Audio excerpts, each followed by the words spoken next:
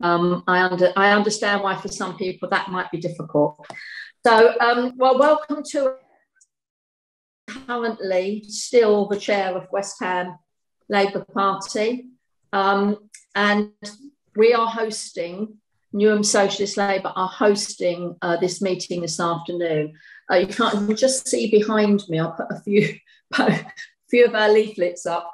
Um, I'll just tell you a little bit about you very quickly about Newham Socialist Labour. Um, our CLP in March was uh, suspended alongside uh, East Ham, our neighbouring CLP, and together West Ham and East Ham, that's five and a half thousand uh, members silenced, disenfranchised, etc. So, in order to keep the left together, we set up Newham Socialist Labour, and we're very active in lots of grassroots campaign. So I'm really looking forward to this open forum today.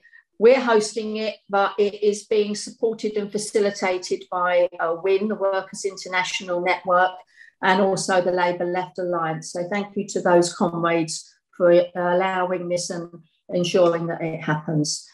So um, following the debacle that was Labour Party conference, we're going to discuss some very important uh, questions that keep on emerging um, in any in any forums that I and I'm sure you are involved in. Is first of all, is the Labour Party finished?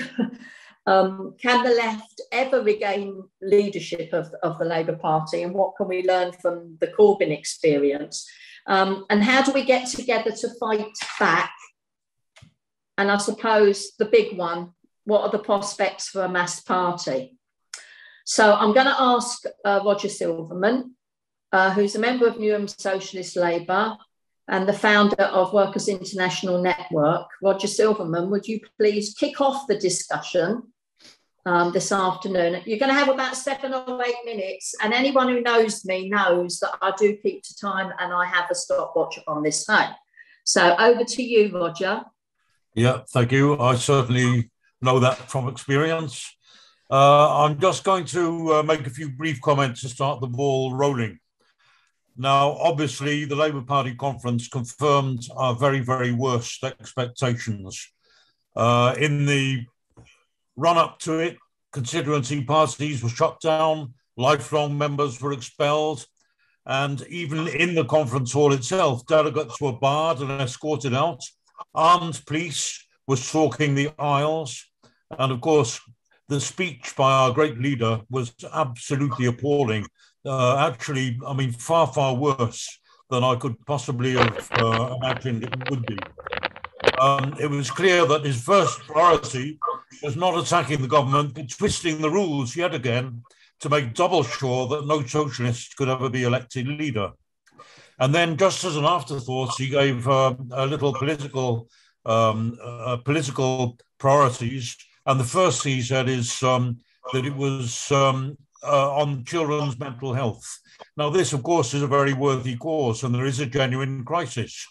But what Starmer doesn't seem to realize is that what is causing young people mental problems is poverty, bad housing, poor education, lack of recreation facilities, no job prospects, the looming climate emergency, etc. So, what young people need is not counseling and therapy, at least not alone, but they need a future. They need hope. What they really need is socialist policies. Britain under Johnson is looking like a failed state. It's at a complete standstill. The, the, the petrol crisis, empty shelves in the supermarkets, uh, inflation shooting up, an end to the furlough, which is going to mean um, mass layoffs, cuts to universal uh, credit, which means people, maybe a million people plunged into poverty, rises in taxes, taxes, privatization, corruption, and all the rest of it. And um, when you look at that situation, as a Labour leader, Starmer, of course, is offering no alternative and not even any uh, resistance to all this. He's the um, worst leader we've ever had.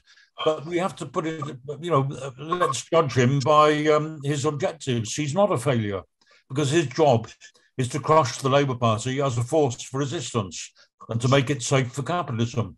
And in that sense, he's doing very well. if Corbyn, just imagine if Corbyn was still the leader of the Labour Party, we could expect Labour to be way, way, way ahead in the opinion polls now. Um, so, anyway, this is not the case, and we have the old, seemingly futile dilemma what do we do? Do we stay and fight, as we're told by, um, by the Socialist Campaign Group and so on, who seem to be doing rather better at the first half of that than the, uh, than the second?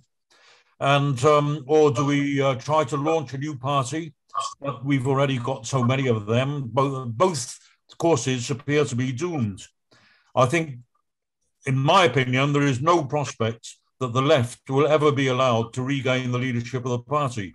So staying and fighting seems to be, a, you know, not very uh, promising. On the other hand, launching a new party, we've got no shortage of left breakaway parties Yes, we want a new party, but we want a new party not consisting of a few hundred people because we've got enough of them. We need a new party consisting of hundreds of thousands. And we know that we have those. That if if Corbyn and the Socialist Campaign Group was to give a bold lead, then I believe that hundreds of thousands once again would rally to their support. I wouldn't accuse them of lacking courage, but I, I do think that they're lacking in um, perspective. As it is, we've got a deadlock because the uh, the policy of the left, the official left, always seems to be that we want we have to recognise Labour is a broad church. And what I always say to that, you probably heard me say it before, but a broad church should not be so broad that it that it includes the devil. And um, the other slogan that um, Tony Benn used to say is, well, you know, a party needs two wings. It needs a right wing and a left wing. And again, I could understand that. And perhaps at one time, there was some justification for that before the new Labour years. That if you have two wings that are trying to fly in opposite directions, all you get is a split. And I think what is happening now is a split, but it's a one sided split, which is being carried through ruthlessly by uh, the right wing and uh, has caught the left unfortunately unawares. We need to find a way to mobilize that latent support. And I do think that what happened in Newham is uh, not a question of um, a little local wrangle. It's not parish pump. It's a um, it's a kind of microcosm of the national picture. Newham Socialist Labour, which is what we founded when we were um, when we were shut down arbitrarily overnight, two CLPs, is a kind of prototype, I think, of what's going to happen uh, over a long period, maybe protracted, messy, uh, localized, and so on. But the process that is that is uh, going to be uh, happening, I think, uh, naturally. Our two CLPs, as I say, were arbitrarily shut down overnight. So the activists regrouped. Now, Newham, let's remember, has um, absolutely impeccable labour traditions. It was the borough where, where Keir Hardie became the first Labour MP. It was the home for a long time of Sylvia Pankhurst. It was just down the road from George Lansbury when he was leading the uh, Poplar struggle in um, 1920. And um, it's 100% Labour Council now, for what it's worth. It's got a directly elected Labour mayor, not that we support that system. It's got two uh, Labour MPs uh, with huge majorities. One of them, I think, the biggest uh, in the country. But there are now two Labour parties in Newham. There's the active campaigners on one side, grouped in Newham Socialist Labour, and there's the, I'm sorry to say it, but mostly corrupt councillors um, uh, on the on the other on the other side. And I think that it's shadow CLPs like uh, Newham, which are going to be developing and which are developing here and there um, in, um, in, in one area after another. And also, let's remember the key to the whole thing is the trade unions. Now, we see the RMT long ago left the Labour Party. The Bakers just last week also disaffiliated from the Labour Party. We, we hear that there's possibilities that the FBU and the CWU could also follow suit. And who knows if uh, in the longer term, maybe Unite might might uh, go the same way. So I think we can see very faintly the outlines of a of a real. Oh, I wanted to say new Labour Party. That, of course, is the wrong phrase, but a uh, a, a Labour Party, a left Labour Party, um, uh, developing. So I've those are just a few ideas thrown out. Obviously, all of us have got different um, ideas and suggestions about what's going to happen, and uh, I'm just um, would throw throw it open now, and I, would be very happy to hear what comrades um, can contribute. Thank you, Roger. Thank you very much. Um, I love that description that Corbyn's not lacking in courage, but lacking in perspective. Um, I'm going to, I've written that down. I'm going to remember that because I think in many ways that really encapsulates the situation we have now. And, um, and certainly there are two Labour parties, at least in Newham. Um, and actually, the socialist grouping is the biggest. So um, I think, yeah, we have 100 participants now, which is fantastic and very impressive. Uh, there will be people who obviously now can't get in because unfortunately our limit is 100, but they, people can watch it live streamed on the LLA Facebook uh, page. Um, I'm going to open it out for discussion, but before I do, I think, um, Roger, you had a message from Ken Loach about this meeting. Um, it's quite a long letter, I understand, but would you please read that out and yes, then I sure. will call people in to the meeting. Uh, one second. Okay, while you're oh, looking, I've got it now. Got it? Okay. Uh, okay, off you go then, Roger. Um, right. Uh, right, dear friends, I'm sorry not to be with you this afternoon to share our thoughts on how we organise after the Labour conference. Here's a short contribution to the discussion. Starmer's attack on the left was all too predictable. He was part of the campaign against the Corbyn leadership from the beginning. Now the danger is that we fall into sectarianism and end up organising demonstrations and meetings, but with little hope of establishing a political presence. Can we avoid this? Jeremy Corbyn brought three to 400,000 new members into the Labour Party, inspired by his, John McDonnell's, and others' principles and programme. Many of those who joined are now politically homeless. There are so many others in a similar position. There are several left unions, some of them outside the party, with leaders who have spoken strongly in favour of Labour's recent programme. In others, there are signs of a resurgent left, like Paul Holmes's work in Unison. There are also many campaigns who should be our natural allies against racism, like Black Lives Matter, and against poverty, homelessness, and for the protection of the environment, the NHS, and a foreign policy based on universal human rights. The number is vast, and the majority are our natural allies. We know there are many principled, talented leaders in community and grassroots organisations, and also rising politicians one or two in Parliament, and some who lost their seats in the last election. They have an energy and clarity that we urgently need.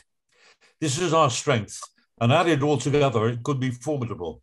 Can we transform these disparate elements into a united political presence?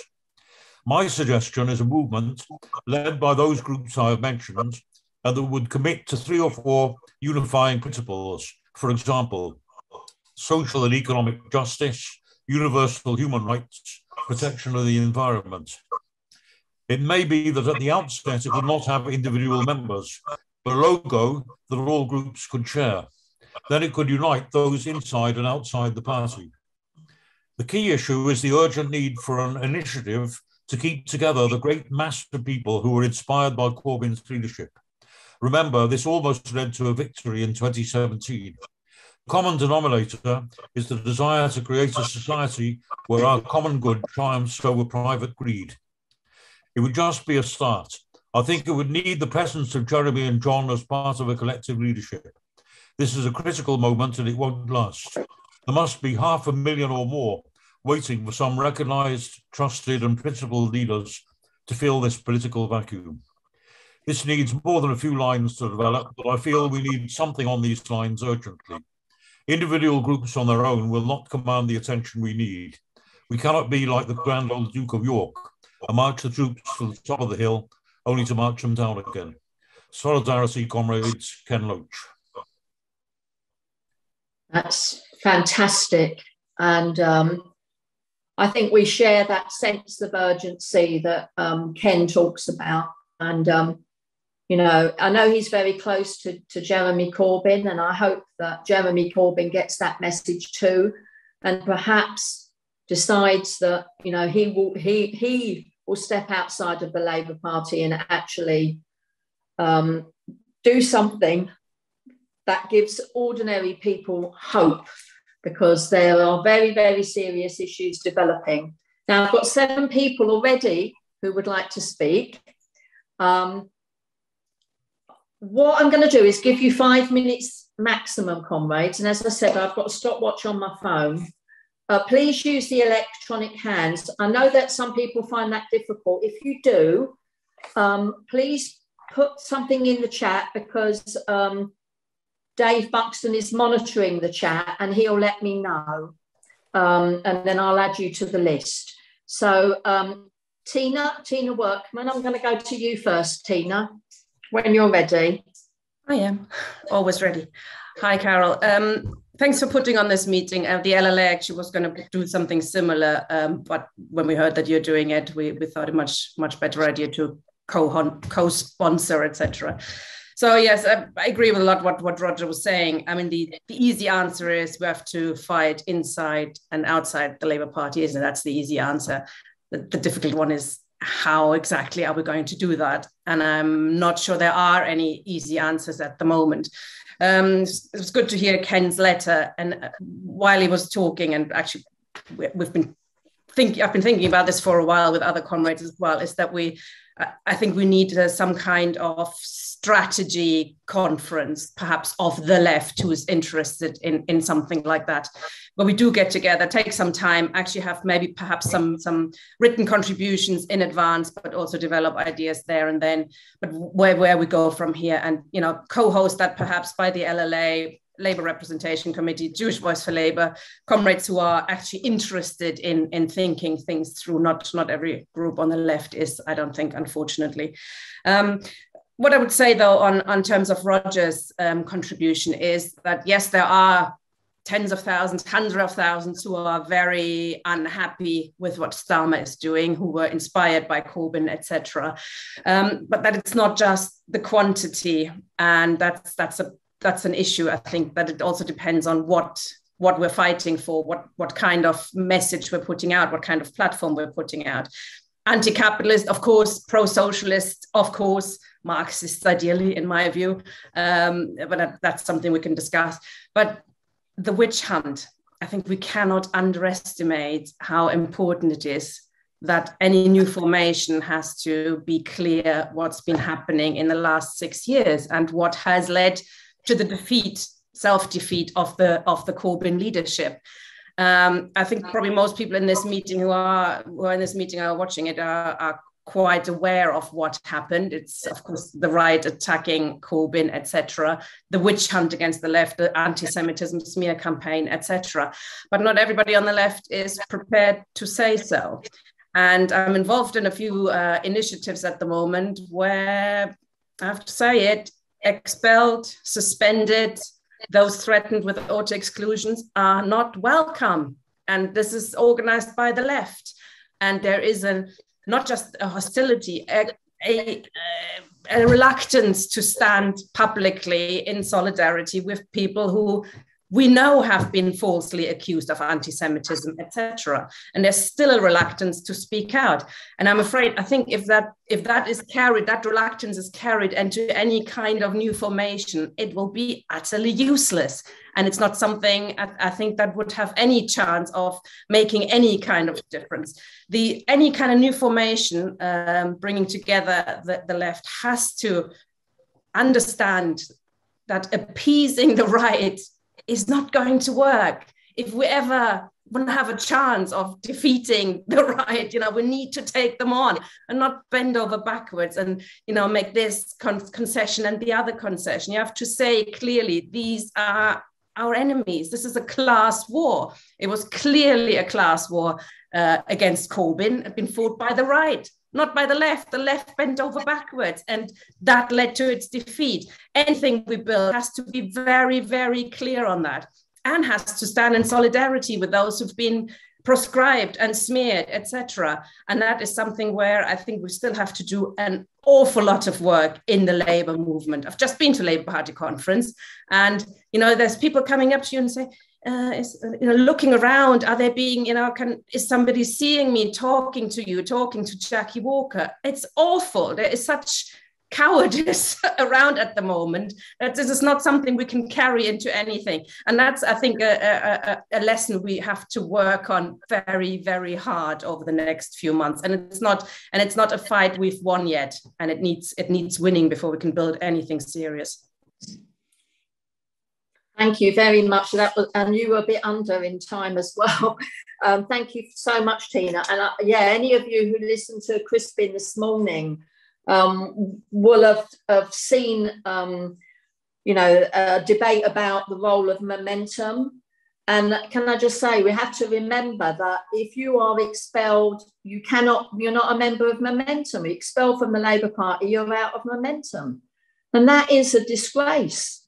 And it is about standing up for what is and be counted because the, we know the right are ruthless we need to stand together. Solidarity, absolute solidarity with Chris Williamson, with Jackie, with uh, Mark Wadsworth, with all of those people who've been suspended and expelled from the Labour Party. Solidarity to them. Some of them are on this call, and we're looking forward to hearing from them. Right. Um, the next person I have on my list is um, Graham, Graham Durham. Are you ready to come in and speak, Graham? Yeah. Right. Hi, comrades, and thank you, Carol. Once again, nice to see you again. Um, and, and when I was initially uh, suspended um, beginning of last year for standing for the NEC, I'm grateful to Newham Labour Party one, um, and, and Newham Socialists because they were one of the first to set up a meeting at which we could explain. And I'm being corrected by Tina that in this current round, the, the September round of auto exclusions, I wasn't the first apparently but followed uh, Ken Loach, nobody better to follow. So, um, for those of us who are expelled from the Labour Party, we have to echo what Tina says, but we also have to understand that the soft left, they've been the bane of my life for nearly 50 years now, the CLPD types and the uh, Arise and all, all these people. Um, they ain't going to fight because they're in there to build their own careers. And so, in the main, though they like to do good things, I, I think uh, it's important to understand that you're not going to change those people's opinion. They, there are many of them in there to build a career in a future left, as we saw happening under Corbyn and in Momentum. Many of the Momentum leadership that Lansman put together are actually now happily supporting Starmer and standing up and cheering him. I saw them at the conference. But I wanted to just briefly go back to the five questions that were posed for this meeting. Number one, which, which, which I think, Carol, you, you shortened them. There were five that uh, Roger sent out. Is Labour finished? No way. Labour's not finished. Um, I could possibly, I could, I could definitely see a situation in which um, a change of leader occurred. Somebody like Andy Burnham came in uh, and became quite a credible uh, alternative on a much more moderate and, and, and milk and water program. In my opinion, um, the record Labour vote ever uh, in, this, in the UK was 48% in 1951. In, in 2017, we got 42.4%. Uh, and it would be quite easy to make up that gap if we'd had a, a, party united behind a leader, in my opinion. So, no, Labour's not finished. Uh, 12.9 million votes only four years ago. We are a mass party, or rather, they, I should say, are a mass party, um, uh, and they can become that party again. Can the left ever regain, was the second question, control of the Labour Party? That'll take longer. Obviously, the changes need to be all reversed, and that would take time, and that would take a, a reinvention. But the left, in theory, could retain regain control of the Labour Party in the sense that we ever had control under Corbyn and McDonnell. A question that I think really needs addressing on the left. What lessons can be learned from the Corbyn experience? I think there are three big lessons. Three big lessons. They've been rehearsed before, but they're important lessons. Firstly, the day Jeremy was elected leader, I was in the conference hall. He went out straight afterwards and addressed a meeting of a refugee march, uh, a refugee march, welcome refugees, which was fine. The trouble was that Jeremy then continued his tour of the UK for the rest of his time as leader. He didn't actually organise inside the Labour Party machine. He didn't sack the officials. He didn't. He wasn't ruthless enough. He brought the wrong people in who wanted to compromise. He was too soft on the on the right wing, Hilary Benn and these people who turned on him. It was weakness. It wasn't strong enough leadership, and that goes right down the uh, the whole team that worked with him. There were terrible mistakes made, which we are paying a big, big price for, in my opinion. The second mistake, and obviously the, the Labour Party organisation needed sacking straight away. We needed to get rid of all those people and get them campaigning, which is what didn't happen in the 2017 general election. Second mistake, um, in my opinion, was the disaster uh, uh, uh in 2019 when groups that are represented on here, the Labour Representation Committee, for example, came out as a pro Europe, um, anti Brexit organisation that were clearly helping to build that opinion, which Starmer himself helped to build, and John McDonnell helped to build, and Diane Abbott helped to build, that we were, uh, we were anti the referendum result. There are people listening today, I'm afraid, who have a responsibility for that everybody that you doors you knocked on in any working class community, and I went to about six constituencies, were telling you, we voted no. We voted no to Europe. And your, your party is in favour of it. We gave Johnson an open goal. And those people who've made those mistakes, I only mentioned the LRC because I used to be active in it till they expelled me, um, eh, uh, are, are equally responsible, in my opinion. And the third big mistake, and here again, I come back to John McDonnell. I remember the interview on Sky TV when John McDonnell said the Labour Party, in his view, is institutionally anti Semitic. He'd completely collapsed from the original line, which was we are an anti racist party. We will not allow anti Semitism in the party. It is a very small and tiny aspect of uh, a tiny proportion of our members. Completely collapsed from that line. And even today, some of us who were allegedly anti Semitic, in my case, I confess, I called the chief rabbi at the time a Tory. That's why I was initially thrown out. That's not anti Semitic, that's a political comment on a religious leader. But I mean, of course, when we've made these three big mistakes, we've looked like the anti uh, anti referendum result um, party. We've looked like the anti um, uh, uh, we've looked like we're guilty of anti-Semitism, uh, and uh, and we've not done anything about the Labour. Then obviously we've weakened our own thing, and, and I'm afraid it's hard to say because I know how popular Jeremy is. He's a friend of mine, but he's a, he was the leader, and although he tried hard to fight against some of these things, he wasn't strong enough. That's I think an important set of lessons to learn. Okay, you, have is Labour on the verge of a split? Graham, you've had you've had your time. I'm going to give you ten seconds to answer that question. I'm I'm not happy. I'm not look on prospects of a new party. Well, we're closer than we've been for a long time, but I don't actually believe it's a good thing, uh, to be honest, that the Bakers Union are, are, leaving. I don't think it's a good thing that any of the smaller unions leave. If we're going to split this historic party, uh, then we have to split properly, and we need a big union, particularly my union, Unite, to take a decision to do so. Then we may have an opportunity to split. We just, as I agree with Roger, we don't want any more of these tiny parties, no. tiny alternatives okay. forming. We've got to be more than enough on the left in Britain. Thank you, Graham. Thank you. Thanks. Thank you. Okay. Thanks very much. Well, you've raised a lot of really um, interesting and controversial ideas. So I'm gonna, which is really good. So I'm going to move on to Paul Collins. Would you like to come in now, Paul? Can you hear me? Yes, we can. Hi.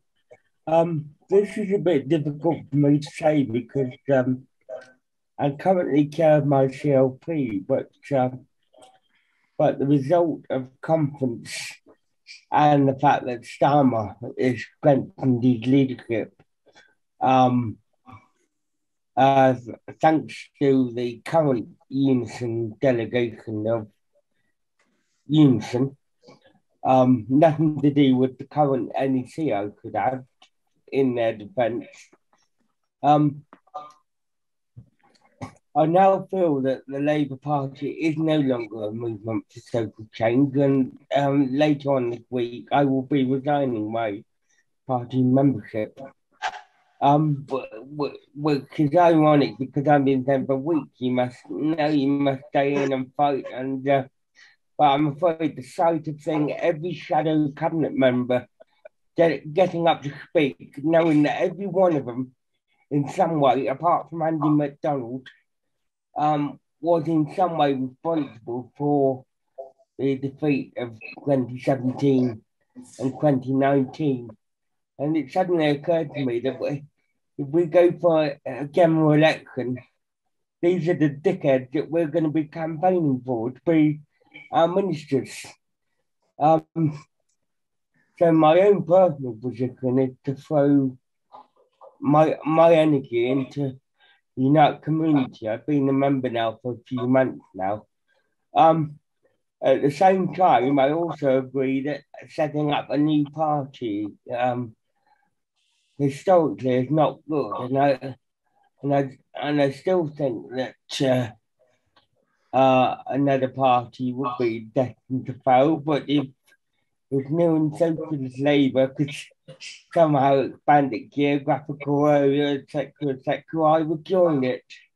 Um, but yes, but yeah, and I agree with much of the analysis of what's been said already, including uh, what Money on the Left did with regard to Brexit. It wasn't just Brexit policy. Labour delegate at that last conference voted for that bloody policy. Uh, so Graham is right. There are many on the left who bear responsibility for that particular policy. But yeah, the big mistakes were early on when they failed to adopt open selection for parliamentary candidates. Uh, and again, Unite and John McDonnell had something to do with that, I believe. And of course, it's all very well um, the circular group of MPs uh, saying we must stay in fight, but they're also defending their own positions. They're not in a position to be affected by the Tory cuts that are going to be coming in over the next few years and so on. So um, I'm sorry to be negative, but that's that's my own personal position. Thanks. Thank you, Paul. Um, I really um, respect the position that you're taking and, and staying in the Labour Party. For some people, it's too toxic an environment, but others feel they can do that. And, and i think you know this this open discussion is trying to find a way forward balancing both of those aspects. So thank you very much for your contribution. And can i ask phil pope from bristol would you like to come in? Phil are you ready hi thank you carol right so I, I won't repeat what's already been said but just to quickly recap, um, like Corbyn did not lead the left. Um, he was really hopeless. His leadership did give the left an opportunity to do it ourselves, to pull the party leftward and start fighting. But most of the left didn't even start that fight with the right. They just tried to keep Corbyn in office. And if you don't attack your opponent, sooner or later your opponent attacks you and beats you. Um, and I mean, sadly, I don't think it's just Corbyn, it's the whole socialist campaign group. There isn't anyone in that socialist campaign group that you can say, if they were leader, they'd lead a massive fight against right the party. There isn't anyone in there that's going to do it. Um, and I don't even think the leadership can be regained. It's technically possible, but it is incredibly unlikely. They've put in rules to make it incredibly unlikely the Socialist Campaign Group on its own can't put a candidate forward. And if someone on the soft left stood, they'd probably split the Socialist Campaign Group and you wouldn't even get all their votes to nominate a, a left candidate. So, um, without the leadership of the party, I don't think there's a fight to be had. Without the cover of the leader being left wing, they will expel who they want it's awful. You have my sympathy. And I'm prepared to speak out because I don't care if I get expelled because I don't think there's any future in the Labour Party now. But in truth, I can't defend any of you if you're expelled. I can't do anything to stop it. I can complain, I'll be ignored. We can all say it's terrible, we'll be ignored, and then they'll expel some more people. There's no fight to be had because it's not a democratic organization. And without the leadership to protect us, we can't change it to be one. So is Labour Labour's not finished, but I think it is finished as a potential vehicle for socialism. Um, so I think we should move on. Um, I'd rather the party had split and we'd kick the right out, but as it happens, they're kicking us out. And I think we've just got to make the best of the situation because the last five years haven't been a complete loss. We wouldn't have been having this meeting five years ago. I know 10 times more people on the left in Bristol than I did five years ago. Um, campaigns to organise the left have regularly raised tens or hundreds of thousands of pounds to come up with legal fees through crowdfunding people are using social media, video conferencing. Uh, we have learned how to organize better. So I think we should use that to launch something new. And um, I think it's the people in this meeting are the people that got to do it. We can't wait on maybe the unions will lead it, maybe Ken Loach will lead it. Um, I think we need to get on and do it and do it properly and raise money, like employ national staff to actually organise a big thing. That's one good thing Momentum have done. They got the politics wrong, but organisationally, they've built an organisation which has been defeated but still persists. They still have full time staff, they still have a big income. They've created an organisation. I think we should start talking about doing that and doing it properly and make the best of our defeat and come back and organise. Thank you. Thanks very much, Phil. Again, you've raised some really crucial questions. Um, and if there's any time at the end, I'm going to tell you what we're trying to do in Newham in terms of creating an organisation. Um, right, I'm going to pass over to Tony Greenstein now. Okay, thank you, comrades the question of whether the left will ever gain regain control insofar as it ever had control in the Labour Party is an esoteric question. It reminds me of these debates about how many angels can squeeze onto uh, the eye of a needle. Uh, the answer is we don't know. We each have, have our own opinions. What is clear is that there are thousands of socialists still left inside the Labour Party. So we cannot simply abandon them, whatever we do decide. Secondly, we have to take recognition of and, and understand what the Corbyn movement represented, which was an upsurge of anger, uh, in my opinion anyway, at the election of Cameron in 2015 against all the odds on the second lo- lowest uh, uh, vote, I think, ever for a party that obtained an overall majority. But this was at a time, and it's still a time, when the working class is not engaged in struggle, in industrial struggle. So you have a very le- low level of class activity, and that must inform what kind of movement we are creating. The third thing is, I think we should abandon the idea, certainly in the near future, of party building. Our main aim is really to try and capture and keep together the thousands upon thousands of people, good socialists, who are leaving the Labour Party. And if we don't provide them with some place to go, they will simply dissipate to the four winds. And I think that is absolutely crucial. We need to create a body or a movement that can both relate to those inside the Labour Party and those who have left the Labour Party. The other thing I think we should we should not be under any illusions about Keir Starmer. He is, uh, as an individual, as about as pathetic as one gets, but it's not about his, him individually. It's not about the fact that he has to get stormtroopers to line the aisles in the form of the Sussex and probably Metropolitan Police uh, at conference in order to give his speech or to uh, bring in people who will cheer him because he knows maybe you in the hall will not do so. I think Starmer, I mean, Starmer wants to complete the Blair project, but Blair came in in entirely different circumstances, if you remember. It was a Tory government which had literally fallen on its own sword over Europe. Remember, uh, John Major was challenged by John Redwood uh, for the leadership.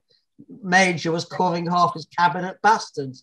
Uh, it's an entirely different situation to the one that Boris Johnson faces. The fact is that whereas Blair quite easily triumphed over John Major, Keir Starmer, despite having the golden opportunity that Brexit or that, that COVID offered and all the other crises that we've seen, Starmer has been unable to lay a finger on Boris Johnson. For what it's worth, and I may be wrong, I don't think Starmer is that long in office as leader of the Labour Party. as say I may be wrong, but the last conference reminded me of nothing so much as the Tory party conference of 2003, where Iain Duncan Smith had very similar arrangements in terms of staged ovations, and he didn't last six months before he was voted out of office. There is no mechanism in the Labour Party to do that, but I imagine if he's told to go by uh, the, what used to be called the magic circle, he will go.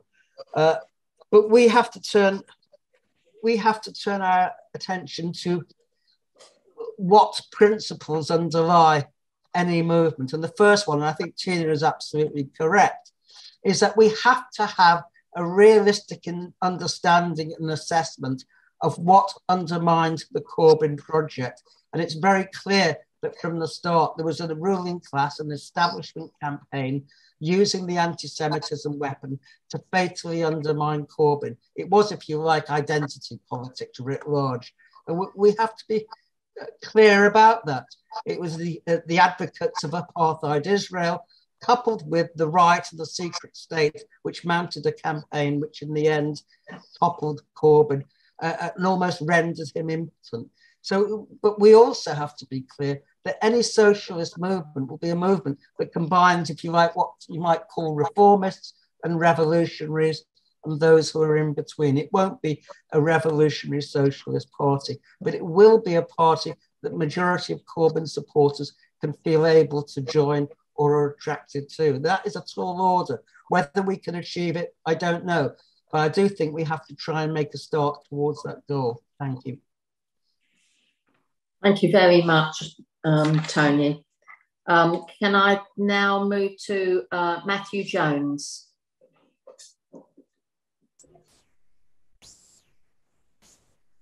Hi, comrades. Yeah, uh, no, it's an interesting, useful meeting. This, and I think, um, I mean, really, with the the conference really sort of showed the the the the, the project of, of, of Starmer and company, which is not, of course, to win elections, it's to destroy the left uh, and, and actually to change and to, to, to, change the Labour Party to the point where it is no longer the Labour Party is known.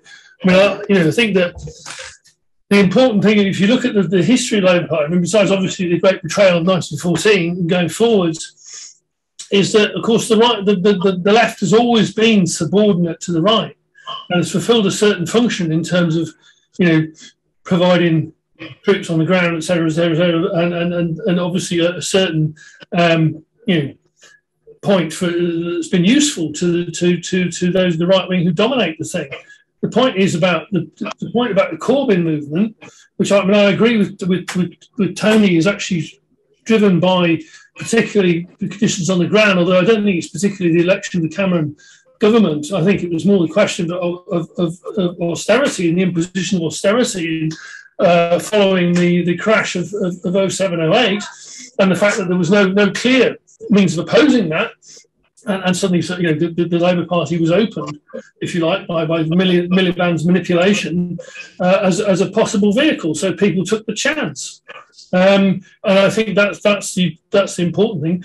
The, the point being is that, that, that, that suddenly the right wing understand uh, that the left can run, can take over the party. You know, could do. I mean, obviously, not under the politics of, of, of, of Jeremy Corbyn and so on and so forth, because I mean, obviously the problem is that the reformists will always concede, you know, I mean, under conditions in which you have a right wing which is clearly backed, you know, nakedly so by the ruling class, you know, I mean, to be to be a left reformist uh, leader, I mean, essentially you, you're you're onto a dead loss.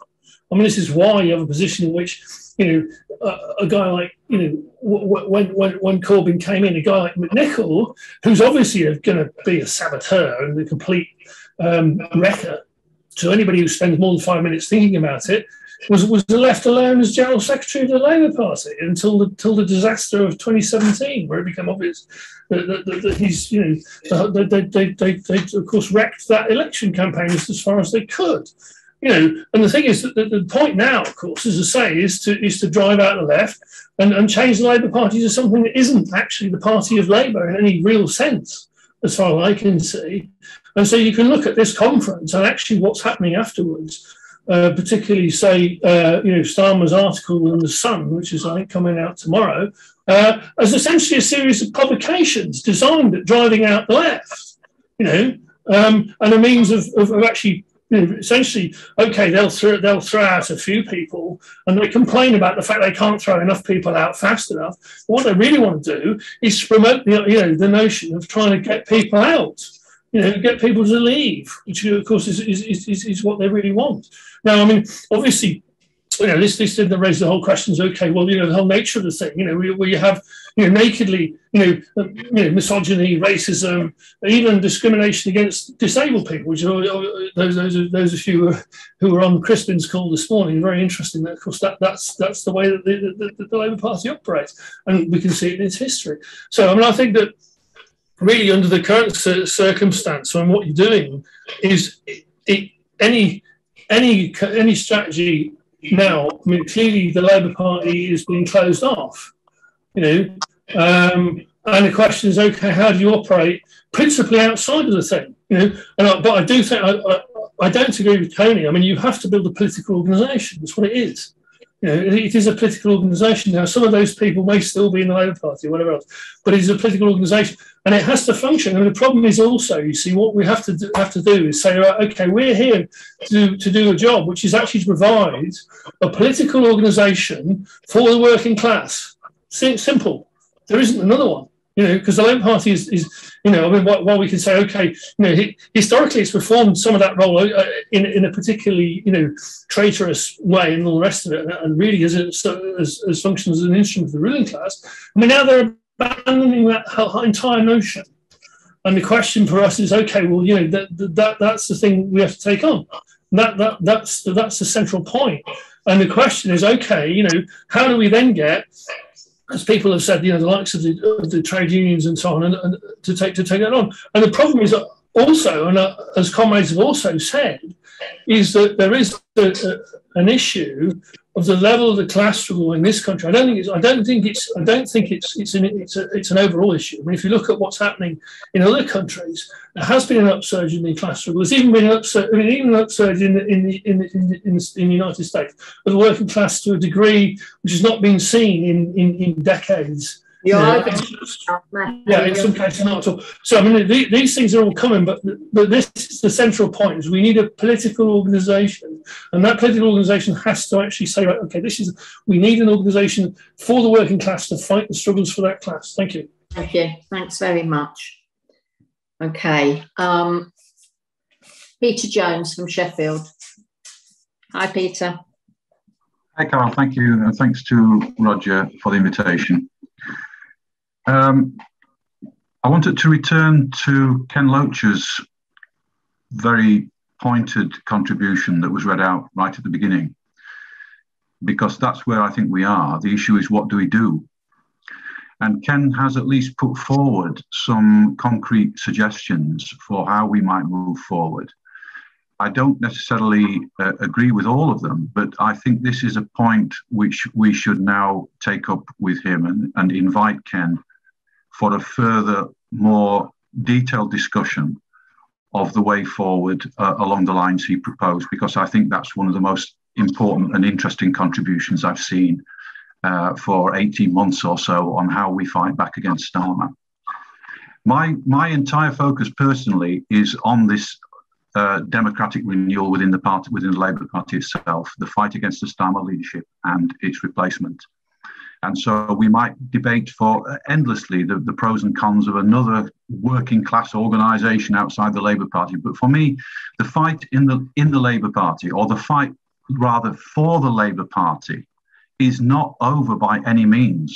We have barely begun. And the problem is that we are so disorganized, we're so fragmented and dispersed in different groups that we failed to punch at our weight, the weight of those hundreds of thousands of people who supported Corbyn and who are still around, they've not gone anywhere, either inside the Labour Party or without.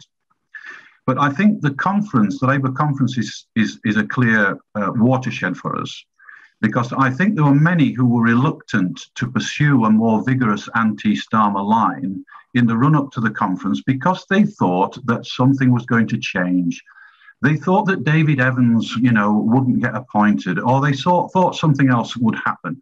Now we know what's happened now.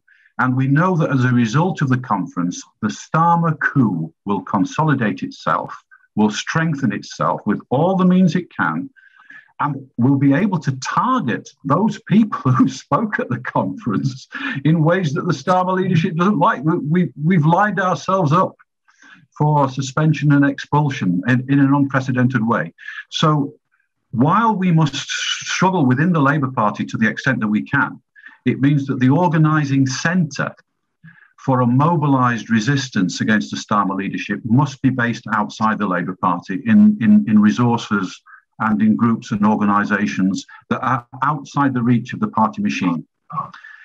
So there are a number of things I, I, I think we need to do. Um, I think for me, the issue is what unites us, or what unites those of us in a coalition of the willing, if you like, is the understanding that this Starmer leadership must go. It's an illegitimate leadership.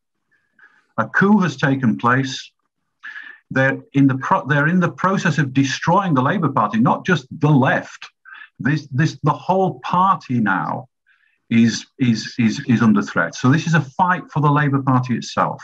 And the principle for organizing and mobilizing must be that this leadership is, is illegitimate. It's there by deception and by abuse of power, and it must go.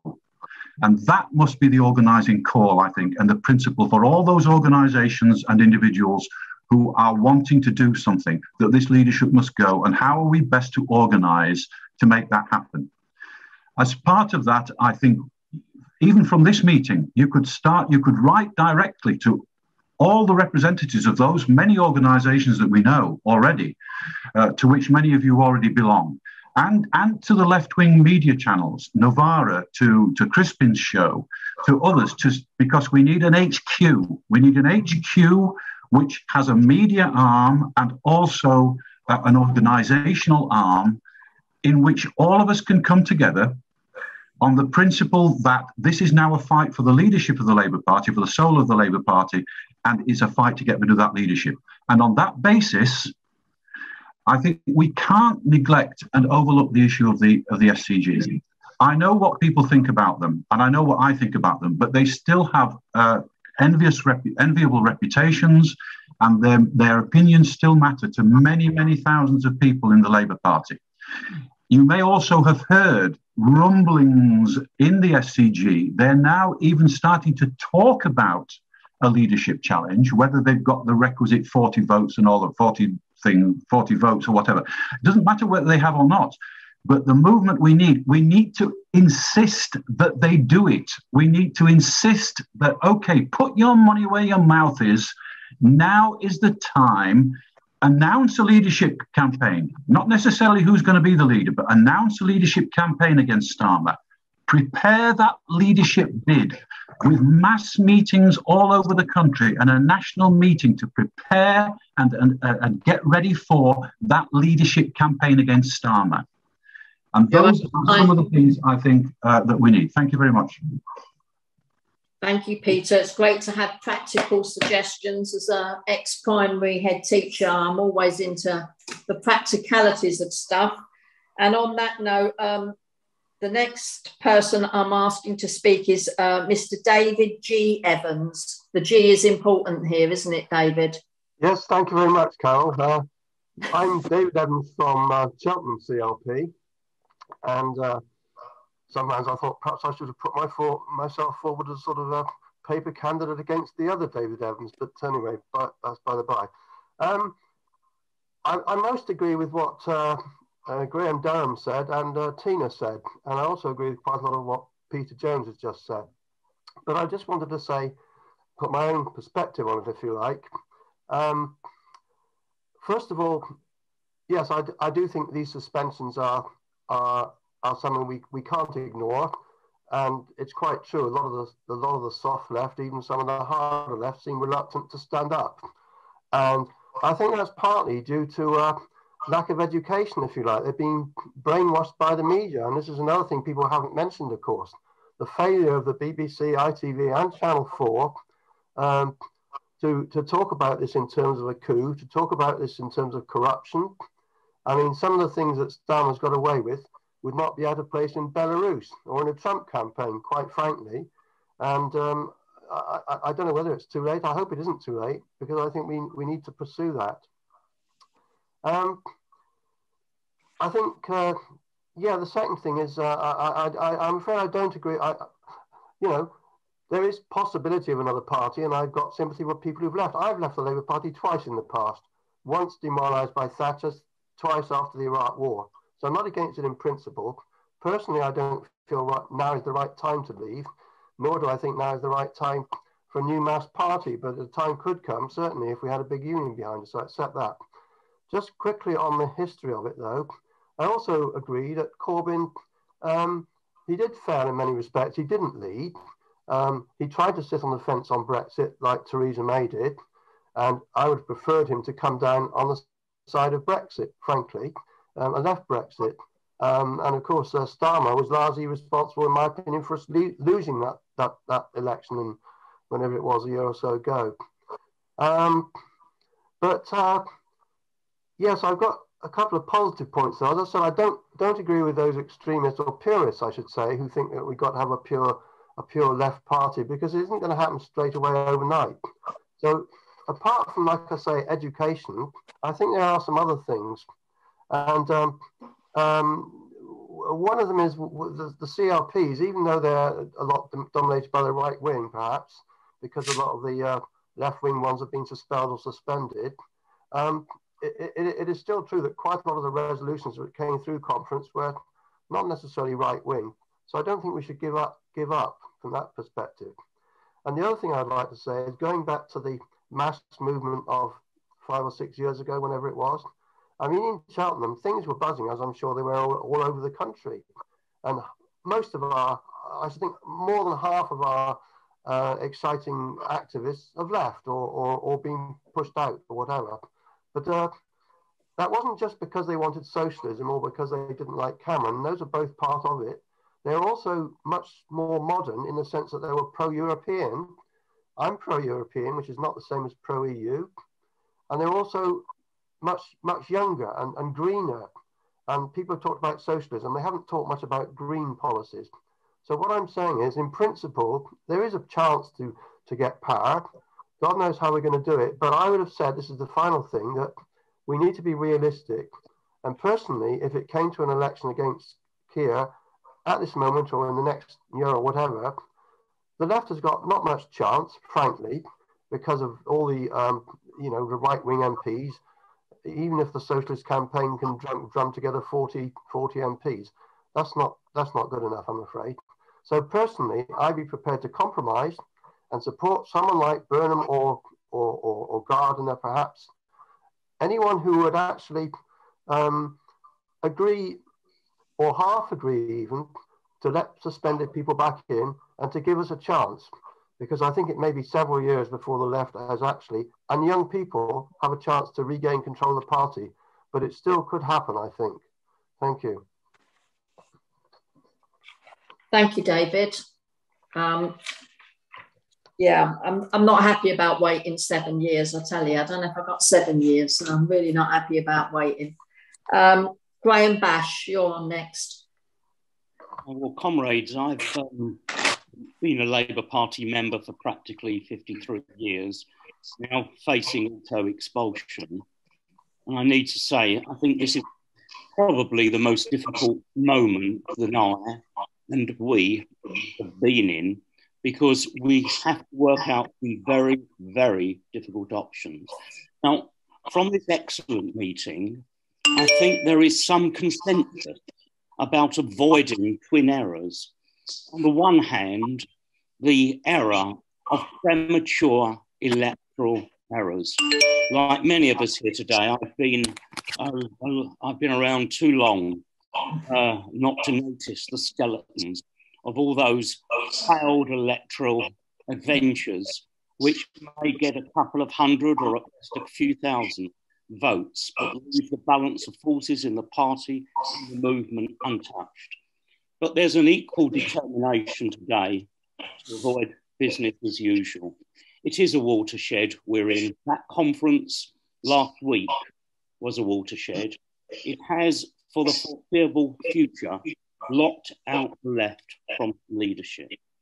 We have seen a witch hunt, the like of which I don't think any of us have experienced. 150,000 have left, another 100,000 or more will go. And I agree with Roger's first point uh, that um, is not a failure on Starmer's point, on, on, on Starmer's part. This is the aim of the exercise. Um, after all, there's no point in saying what has happened is unfair. I think it was Tina or someone else said, this is deliberate, it's class war. And that's what we're facing in the Labour Party, it's class war. And this idea that somehow it's business as usual, keep our heads down, wait for the next conference or the conference after that, is actually totally inadequate to the tasks we now face. So leave aside those twin errors how do we now operate? Firstly, there is a movement still in the Labour Party. We saw it on the votes for Palestine. We saw it on the votes for the Green New Deal. The, the trade unions, or the majority of Labour Party trade unions, even with the Bakers uh, Union leaving, are still there. And it isn't our task to walk away while those still fighting remain isolated. So that isn't on. Nor do we accept their rules, the Starmerites' rules of the game. That is, accept the witch hunt, refuse to stand with those who have been wrongly expelled or suspended or proscribed. Above all, there is a class struggle out there, and it's that which will determine our actions.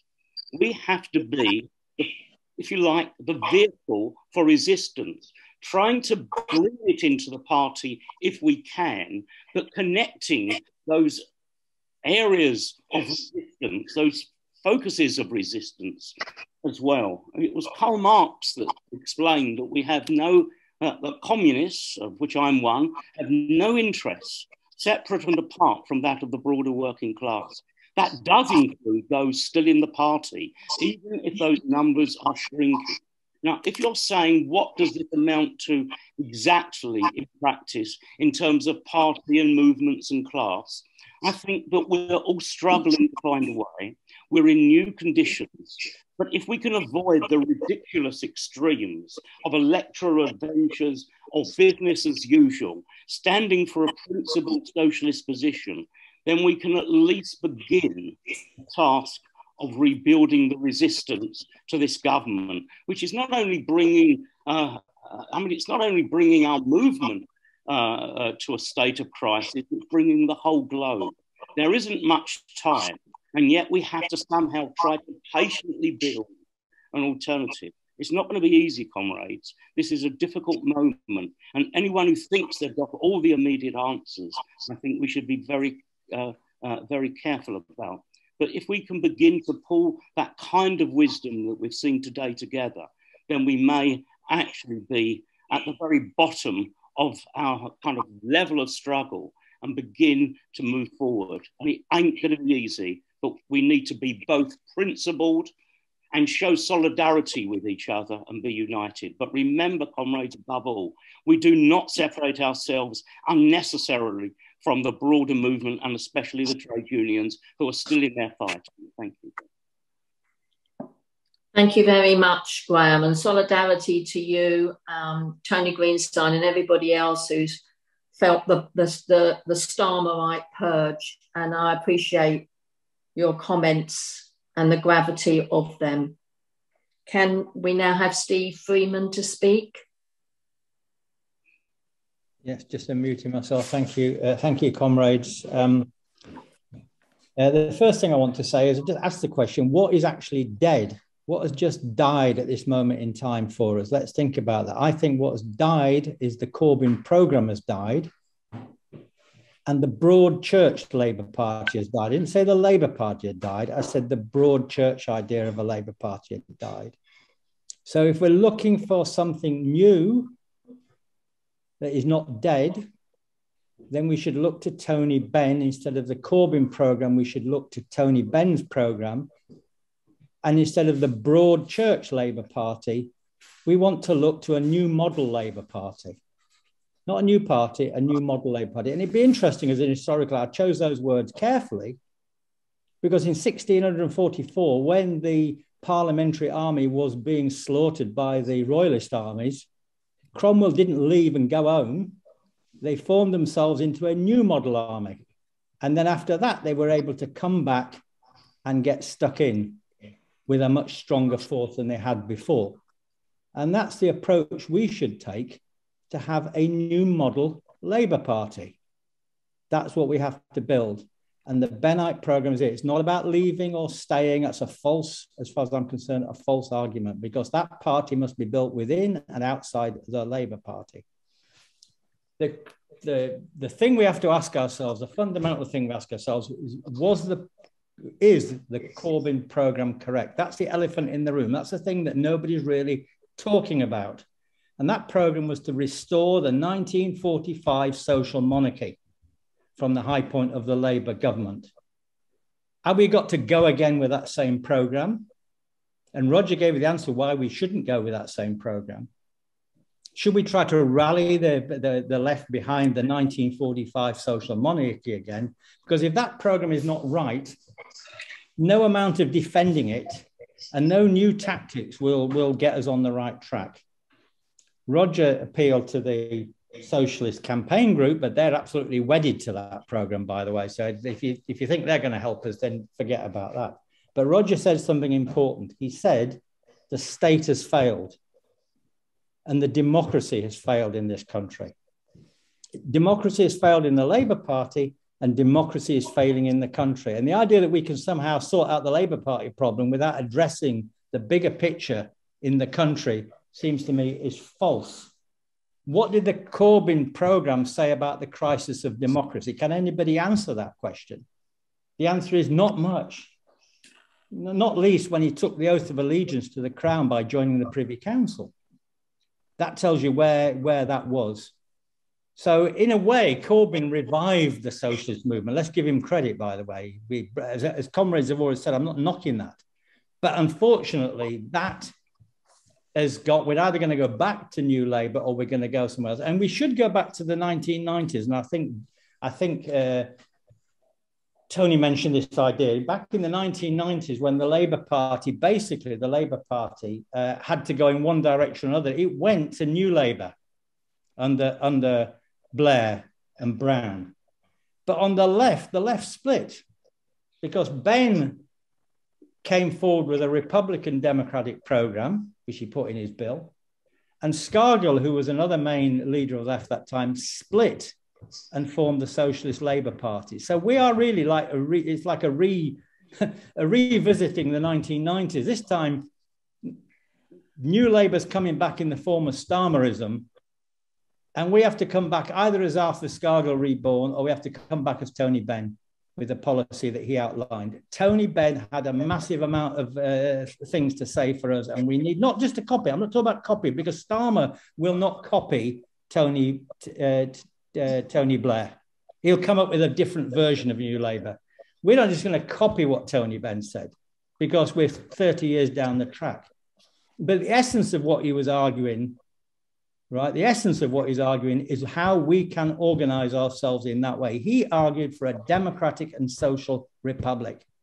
There has to be an alternative to a state that is collapsing day by day under our under our ideas and the idea we can just carry on with proportional representation or something like that to deal with that we cannot so we have to have a fundamental rethink and rebuild ourselves a new model Labour Party.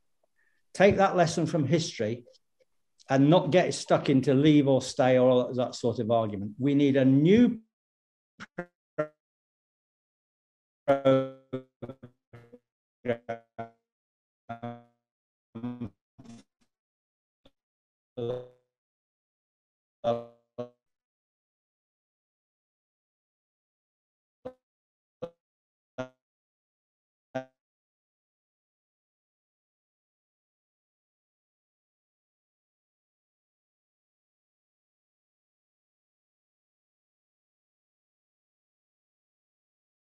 It's an excellent book.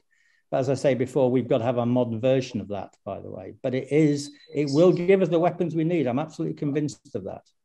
And we have to look at that with fresh eyes and a new, new direction because what's just happened, things have died, and we have to clear that out of the way. We kind of have to start again in a new direction. And then we can rally all sorts of people to our to our flag.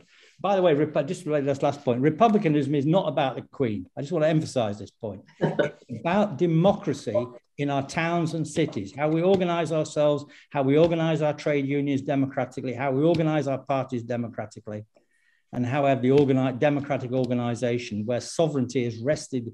Thank you. So I want to get everybody, everybody in. So I'm going to go to Terry now, Terry Deans. Hi, Carol. Um, uh, can you hear me? Yeah, we can thank hear you. you. Carol, first of all, I just want to say thank you to you and anybody else who's helped you to get this organised today. Um, it's, it's a great meeting, and it was fantastic to see you at the Rialto at the weekend just gone. Um, I think it's very difficult. I think Graham Bash sort of touched on it. You know, this is a, a, conversation we're having five minutes here and five minutes there. It's going to be very difficult for us to bash through. Sorry for the sorry for that, Graham. to get through the, the you know the uh, work all this out. So it's it's a beginning. So uh, thank you for that. Um, I think I'm in the company of uh, a lot of very very experienced socialists and people who've been involved in politics in 40, 50 years in some cases, and uh, some very experienced students of the political ideologies and various things. I don't come from that background. I'm um, sort of I was uh, ideologically sort of absent, or I don't know if that's the right term, but I wasn't involved in politics uh, from the age of uh, 18 voting age up until I was nearly 55 years old when I joined the Labour Party. So I'd never even voted in my life before. So I hear people talking about losing hope and stuff. I'm sorry, I spent 38 years of my adult life thinking there was no hope, you know? So I understand the feeling, but, but look what happened. It, it, something did happen, didn't it? Um, something which changed the, changed my, my, perspective. And as I say, I think I speak on behalf of a lot of the uh, the um, the, the politically naive, let's say, which is the which is the vast, vast majority of the people out there who we I think that we need to be encouraging to get involved in this fight back or to overthrow the current system. Um, so, and I also think I refer to the older, more established comrades. I think that we have a duty. Um, I'm getting old now. There's, I think that we, we have a duty as older people to um, to, to, to stay positive and to, to show the way for the young people coming behind us, because that's where it's going to happen. And um, so I just wanted to really echo, I think Peter Jones hit the nail on the head with his uh, the, the, tone he struck, with the positivity. I saw a gentleman called Forty Suleiman in the chat who was saying similar things, and Steve Freeman has just mentioned it again.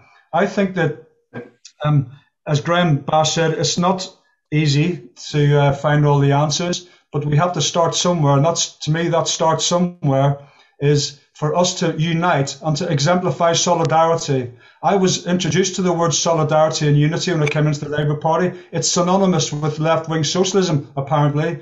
But what I what, what I'd like to see more, guys, I'd like to see us exemplifying that more, being more positive, being the change that we want to see, using the language of solidarity, using the language of unity. People, there's a lot of people out there have been very wounded about what's happened. They've lost hope.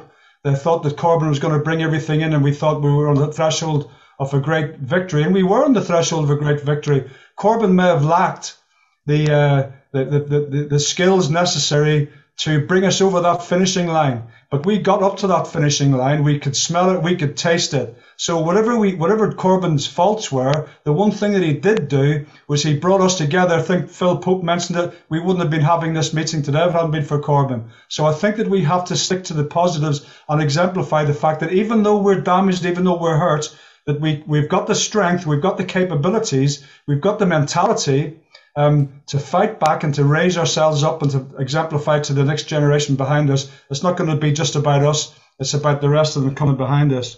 And so, for that reason, I would just like to sort of put a little word of warning out um, from someone who comes from a military background um, that uh, if we start using language like calling people cowards, uh, who have been intimidated. I think we need to understand intimidation and fear. I was brought up in a country which was uh, which was destroyed by intimidation and fear. People killed each other. People in communities, people next door neighbours, um, uh, fought and killed each other because of um, fear and because of intimidation. So we need to be careful that we don't um, dis- dis- disengage or disenfranchise those people who are not quite as good as some of us at facing up to intimidation and fear. Um, some people get cowed by it. Some people are, are strengthened by it and they move on. We need to, I think, nurture those people, exemplify to them how we can bring them along with us. They're wounded. We're all wounded. So we need to be able to uh, show how we can look after our wounded comrades and bring them along. So I'm careful. Of course, there is cowardice out there, not denying it, but we need to make sure that we don't tar everyone with the same brush and leave them abandoned on the roadside. Because I think that's what solidarity and comradeship is. Um, Ken Loach, I, I, I, agree with Ken. I think there's things we can do. Um, so I think that uh, community organising, I think we need to sort of the things like shadow CLPs are going on now with Labour in Exile Network, and it's, it's basically just about getting people positive and working in their communities and being some sort of a pressure group in the local Labour Party. Um, I've probably got a few more things to say, but yeah, you're over time now, Terry. So I'm not going to say any more. I think I've just made my contribution, and there's going to be lots. I just hope that this is the beginning of a, a, a larger brainstorming session, Carol, um, where we can find those solutions that Graham was talking about. Thanks very much. Thank you very much, Terry, for your contribution. I'm going to go swiftly now to Mia, Mia Mantry. Yeah, uh, I mean, my thoughts. Yeah. Uh, yeah, my thoughts are that um, um, yeah, my thoughts are that uh, uh, I can understand why people are scared, uh, feel di- uh, disheartened with everything that's happened, and I get it. But I think the thing to remember is just how close we came to winning in in 2017 and yes, things did happen, and like now we're um, and like okay, things didn't work out, but I think um, mistakes were made with the Corbyn project, but we did get a lot right. And I think the thing to remember is that this is the first time in decades that anything on this level is being achieved. And sometimes these things sometimes take a few goes to get it right. And I feel that having having something um, along similar lines in the future, looking at what what we got wrong, uh, and and also looking at what we got right, um, and like, okay, maybe not have it exactly like uh, that, but like take take all the good bits of which there were many. And I think the thing to remember also is that since the last election in 2019, a lot has happened. And I think people's priorities have changed, people's thinking on the world.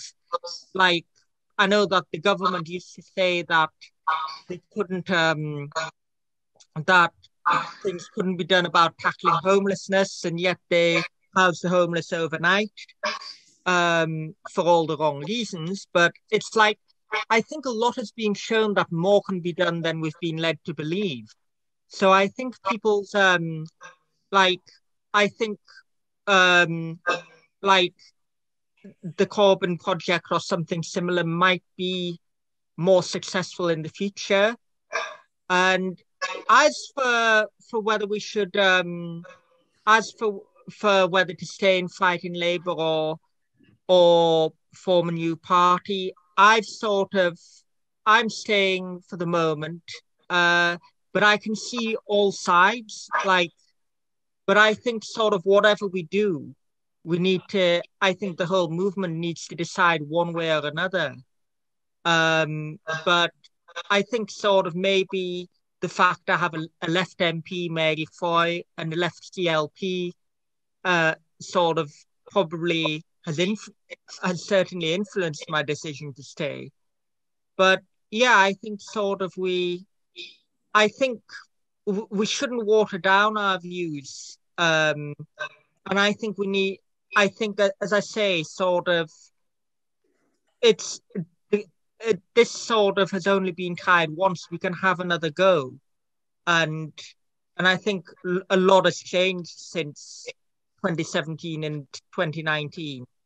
So I think, yeah, I think it's just a question of whether or not we stay in Labour or form a new party. But I think sort of, I think sort of it needs to be thought about and I think organization, I think we need to get better organized and for for sort of the whole movement to decide one way or another.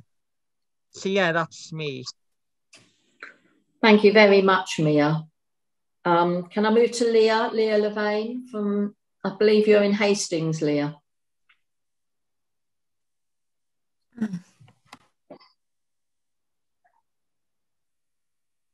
You're still muted. We can't hear you, Lee.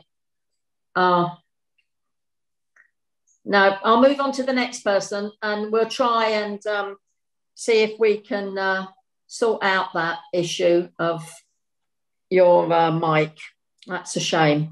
Um, Steve McSweeney from uh, East Ham, I believe, Steve.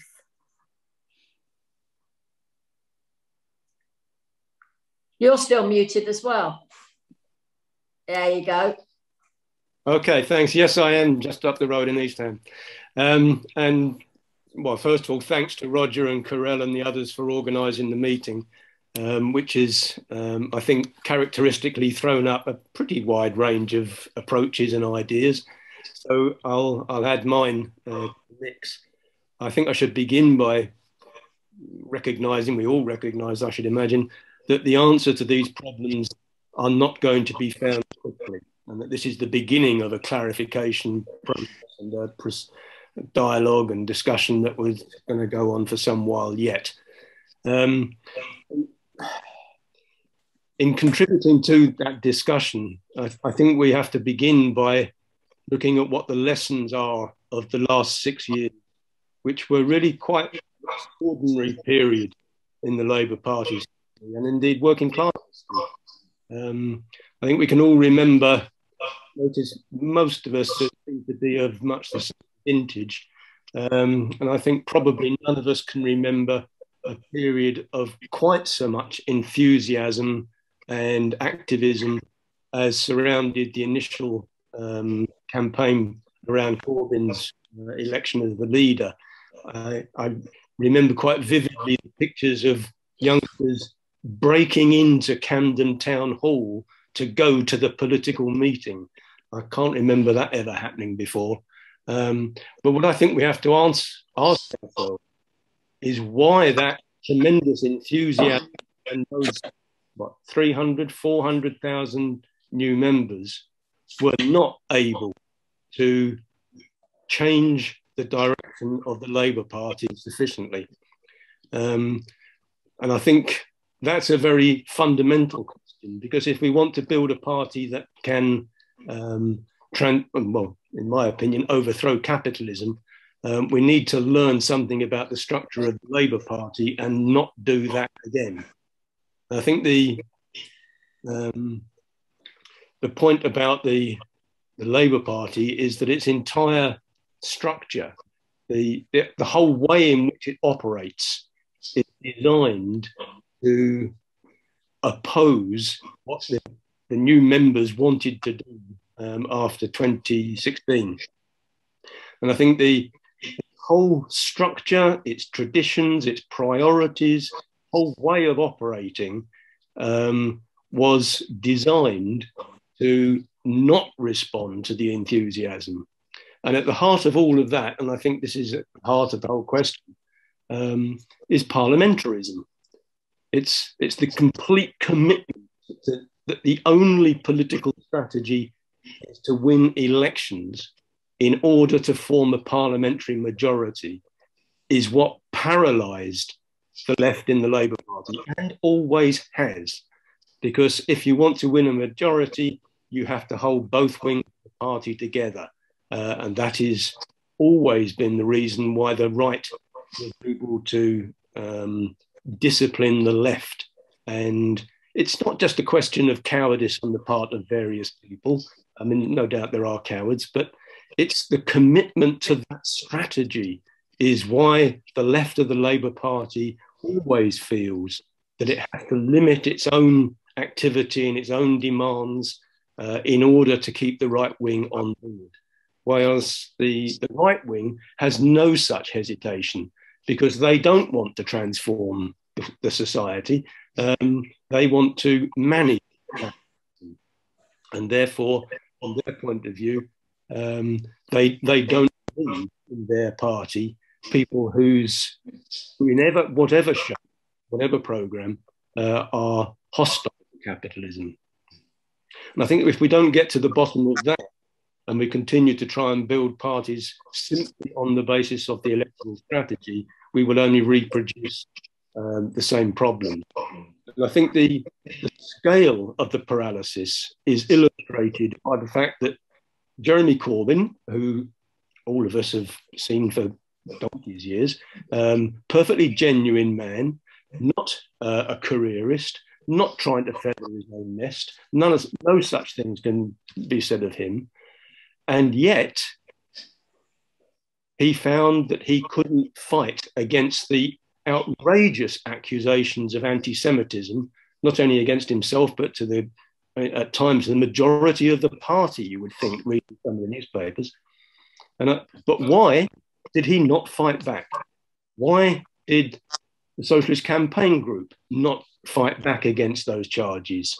I think um, it was always because of this need to keep the right wing on board, because otherwise they'll split the party and we'll never win an election and, and all the rest of it. Um, and I think the heart of the problem that has to be learned for the future. Uh, with regard to the situation now and what, what faces us now, the Labour Party remains what it has always been. It is, um, as they say, a bourgeois workers' party. Um, and it's a key element of it um, is increase is the central role of the trade unions. And I think that will continue to be the reason why the Labour Party will be pulled left and right, as it always has been, because its social roots are in the working class, but its leadership supports capitalism. That's where the tension and the contradictions come from. Quick, uh, you're out of time, Steve. You literally sum up in 10 seconds, please. I think, therefore, we have to be active within the class struggles that will develop in the probably in the quite near future. We should demand that the trade unions demand that the Labour Party defend and support working class interests, and if it doesn't, they should think about forming a new party. Thank you very much, Steve. Um, I'm going to go back to Leah. Yes. I mean, right. I'm sorry, internet doing bad things. Um, I don't think I'll need my full five minutes because a lot of my points have been covered. Um, I agree a lot with what the previous speaker said. The, the focus on elections has been a bane of the Labour Party, particularly for those who came or joined or rejoined um, in 2015 or since. The Labour Party meetings were overwhelmingly about. I remember having campaign reports, and the campaigns were only about electoral campaigns. Um, and we had a lot, a lot of elections. But anyway, that's a whole other story. So, of course, we shouldn't ignore that, but to have the focus of the struggle so so much on that is uh, has been a, a, real drain of a lot of the enthusiasm and excitement. so, I mean, some of the points are obviously, I mean, 150,000 have already left, left. I think a lot of people were hanging on for conference. And I, despite the few victories that we had that Graham, for example, referred to, I don't think that's going to be enough to keep uh, the majority of left wing people or large numbers of left wing people in. Plus, people are disgusted at the way many of us are being uh, treated. Um, so, uh, for those of you who don't know, I was excluded mid conference. Auto, sorry, I wasn't expelled, I was auto excluded myself, apparently. Um, and um, I think one of the things about the way in which we structured the Labour Party and the way in which politics with a big P are run is so much relies on the leader. And I think a lot of people came rushing into the Labour Party and expected, because we had the leader in place, all we needed to do was support the leader. And um, that's clearly uh, part of why we're, we're where we are.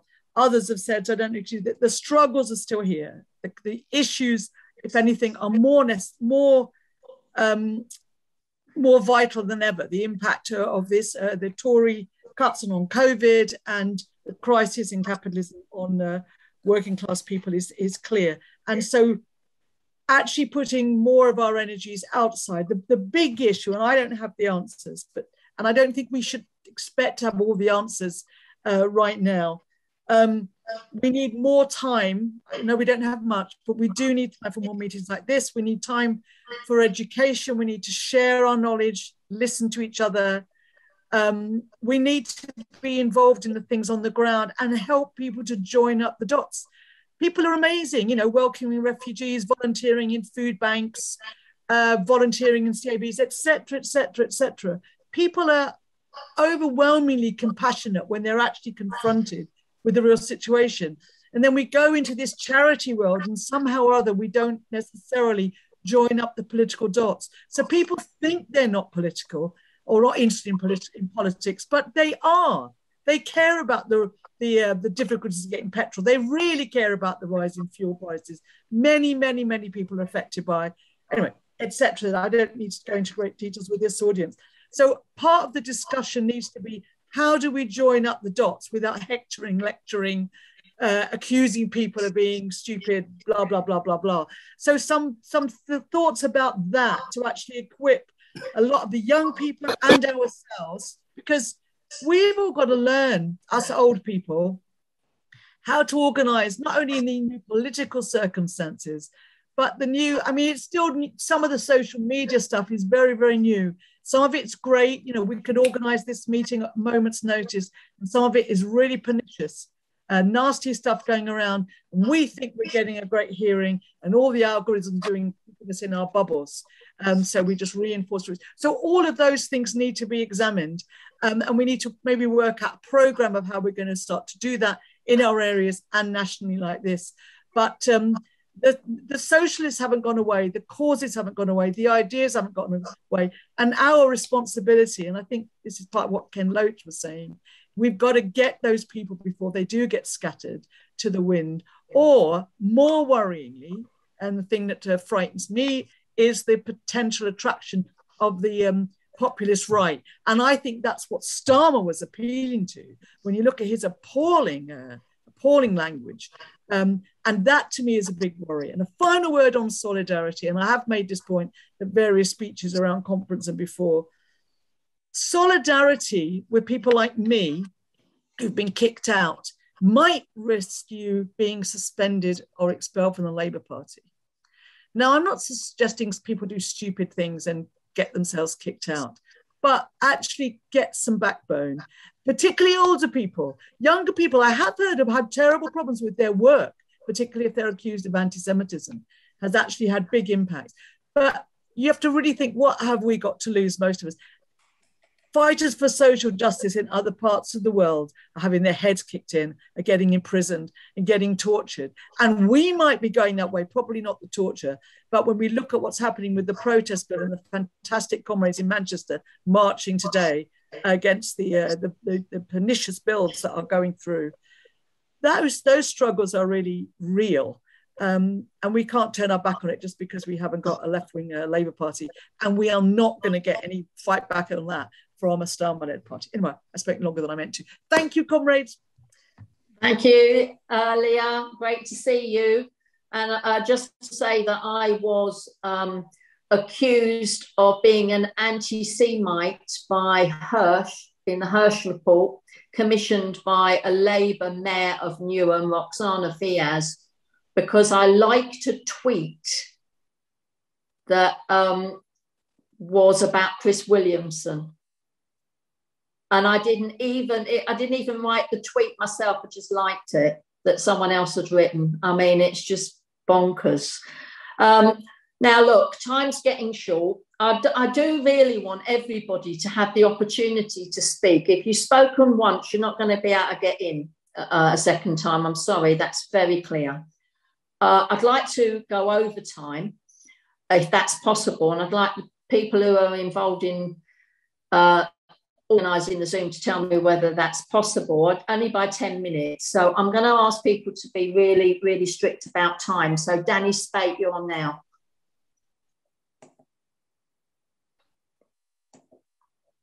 Self. Okay, thank you, Carol, for letting me in. I'm Danny Spate from Labour International CLP. Um, and, and thank you, Roger, for inviting me. And thank you very much for reading out Ken Loach's letter. I, I only ever met him once back in 1969 when him and Tony Garnett came down to uh, Gerry Healy run Young Socialist Summer Camp and tried to teach us a bunch of working class kids a little bit about drama. I'm afraid not much of it stuck, but I certainly agree that what we've got to be looking at is a, a movement that can unite both still inside the party and those outside the party, and solidarity to those people that have been forced out of the party. Um, it, it's got to be a movement built around unifying demand, policies, programs, campaigns that we can all join and, and would make it extremely difficult for the right to expel us for being part of it. Um, a new political party would only really work if someone like Corbyn, who could bring in a following, started it. I mean, if if the right wing are stupid enough not to give him the whip back, so he stands as an independent, and and Corbyn has the courage to actually start a new party, then you could have a new party. But without that, we just go back to the usual group grouplets. Um, our fight really, when it comes down to it, is with the PLP. Um, as I look at Starmer, I suddenly started to think you know what this man wants. He wants he's waiting for the, the Tories to stick the knife in the back of Johnson when he's no longer in use. And it's looking like he's he's quite happy being in a coalition with whatever the Conservative Party actually takes over. So what would be the unifier for party in people inside the party to take on what's being given to us at the moment. And, and I, I think, as far as the left in Labour International can see, open selection is the answer. It may never win, but we couldn't do anything this year because of the three year rule. But next year, it's a possibility. Now, Labour International officers are also being hit by auto expulsions. Um, Colin O'Driscoll was expelled, as you probably know. Um, but if but we've been talking in Labour International, and we've already started to reorganise the open selection campaign, which so nearly won three years ago, two years ago. Um, it, it was let down by Corbyn and McDonnell and McCluskey and Momentum. But I think a second shot, whether it can win or not, I've got no ideas because the the makeup of the party is changing by people being forced out or walking away. But it would be a unifying force within inside the party. And I don't think there's anything stronger than that demand as a rule change that could actually bring the left together inside the party. Outside the party, we just need that movement where we can give our solidarity with the people that are outside and the new groups and the, the, the ecological movement and such like. But um, I'm, I'm very much for that idea anyway. Thank you. I didn't need five minutes. Thank you very much, Danny. Good to hear hear you, and good to hear that Labour International represented at this meeting today. I think it's really brilliant. But I know that Esther's name is at the bottom of the list, but Esther, your name was up on my written list earlier, and then it fell away. Would you like to come in now? You're muted. Yeah. Hello, comrades. Hello, comrades. Speaking from. Hang. Can you hear me now? Yeah, we can hear you, Esther. So um, there, there, there's obviously been um, a lot of contribution this evening, such as ideas are probably beginning to form uh, among us. But um, I wanted to emphasise the importance of us having agreed principles uh, and a strategy, and principles that will include, of course, democratic socialism, um, class, class solidarity, no witch hunting, absolutely no witch hunting, um, um, an analysis obviously based on class analysis. And we need to fix those principles and build a strategy from that. And I'd like to ask a question as to how we think we will go about that, because just talking about things um, won't make things happen unless we do something. Um, I think working working locally um, to build class consciousness is a really, really important thing. And in reflecting on that and, and reflecting what people have said about leadership and possibly looking for a leader, I'd like to suggest that the old models of leadership are perhaps outdated. And if we're seriously thinking about ourselves as a grassroots democratic movement, then we do need to think about different models of leadership that are not top down, but are bottom up. And as part of our strategy, I think we need to think how we are going to do that so that we engage in action locally rather than um, talking nationally. In the same way that we used to talk about nationalisation, and now we're talking about municipal socialism. And in reaching out to people, again, we don't want to be writing in the sun. We want to be building education programs, um, engagement, and activity locally that's not based on charity, but that's based on doing solid work in the community. And Carol and, and Roger, I heard what you said about the newer model. And I think there's a lot um, that, that, that we need to learn from that. So in, in summarizing, yes, we need principles, we need a strategy, we need to agree how we are going to go about that, and we need to look at new models of leadership. Thank you, comrades. Thank you very much, Esther. Um, so I'm going to move now to Jackie, Jackie Hyatt. Yeah, thanks very much. It was using Jackie's name. It's uh, Larry Hyatt. Um, the issue, as far as I can see, is, is that um, within the Labour Party and following the conference that uh, open selection and democracy within the Labour Party is dead and there's no retrieving it as far as I can see at this present moment. The, um, the, issue, as far as I was concerned, is that the um, the Corbyn leadership failed to galvanise members to a movement of class struggle and the um,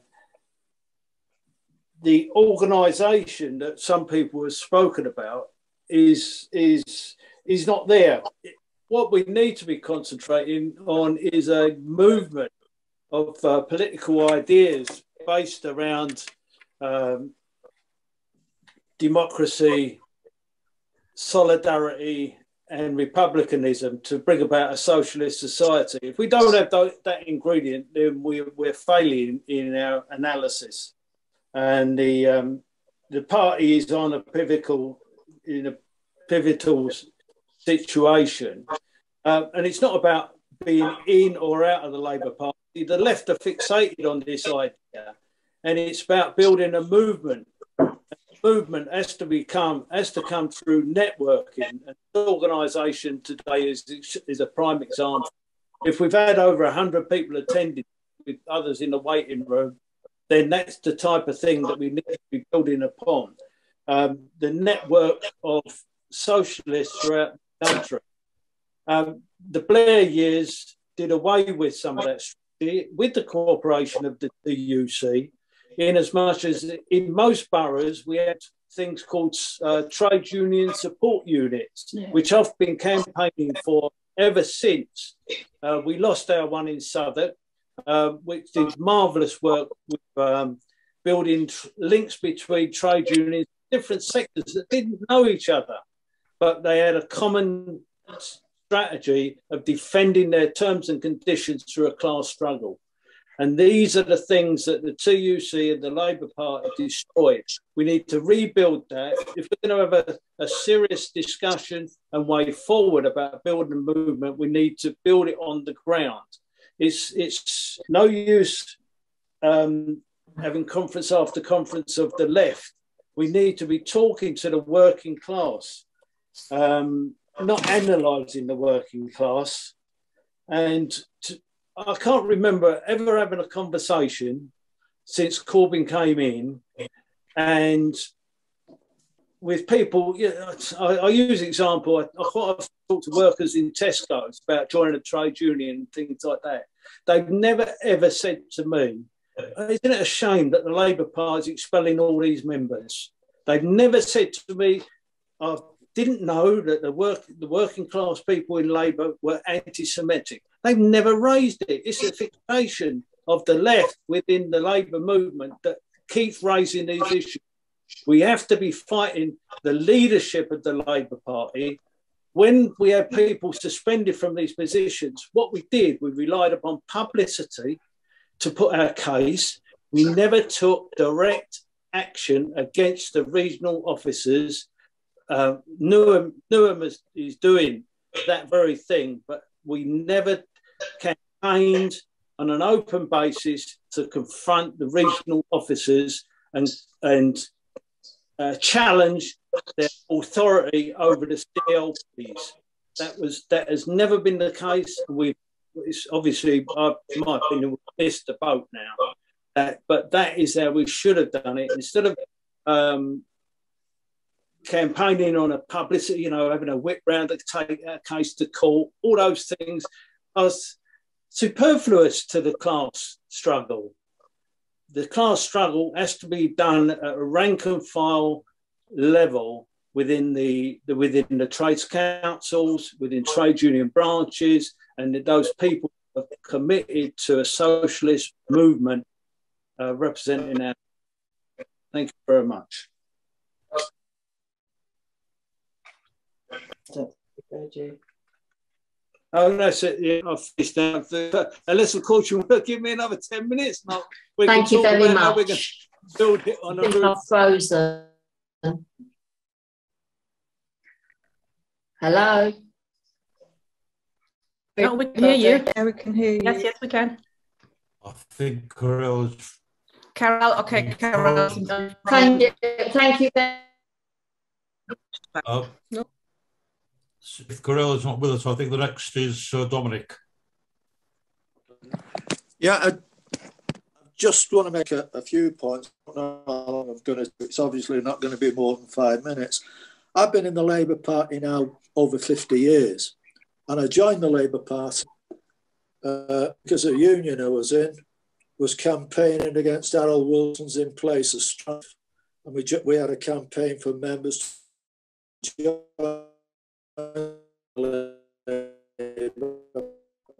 party and. I think the one thing that came up to me in some of the contributions was this personalisation of Starmer. Starmer is not the key for, as far as I'm concerned. The uh, years was that basically he didn't tackle the parliamentary Labour Party and tackle the apparatus because Starmer is a creature of the parliamentary Labour Party and the apparatus, or the majority of the parliamentary Labour Party, which is anti-socialist, and it appears that the whole of the apparatus is uh, anti-socialist. They basically got the idea of divine right of, of uh, Labour MPs to stay in power until they die. Um, I think the other thing I wanted to touch on was this question of leaving the Labour Party. As far as I go, I've no intention to leave the Labour Party. Uh, doesn't mean to say I might, when we start getting active again, because we haven't in Manchester yet, at least this part of Manchester, uh, might get kicked out. That's another matter. But I think this question of organising, to my mind, what we should be looking at is a basic starting point. And I think the basic starting point I'd be looking at would be a campaign based around defending and advancing the interests of the working class. And I think that encompasses everything from inflation to climate change. We're not just talking about sort of pay and all that sort of stuff. It encompasses all the near working class and we take up issues and make demands. And the demands should be placed on the leadership of the Labour Party and the leadership of the trade unions. Because without raising the question of what are these people there for, I don't think we'll ever make any serious steps forward. So I think that is a major thing as far as I'm concerned. Uh, and I think somebody touched on the question of the 2017 election. I think we've got to face facts that if we had got a Corbyn government, the right wing of the Parliamentary Labour Party would have sabotaged the programme, maybe even caused a split at that stage. So I, I think that it's not a question of uh, organising a leader, it's a question at this stage of raising the political issues and having a campaign. And we need some sort of organisation. Working people have got to have somewhere to go to actually get organised and do things. It's not a question of individual actions. So I think uh, I think I'll leave it at that to be brief so other people can get in. Uh, thank you very much, uh, Dominic. Uh, next is John Dunn.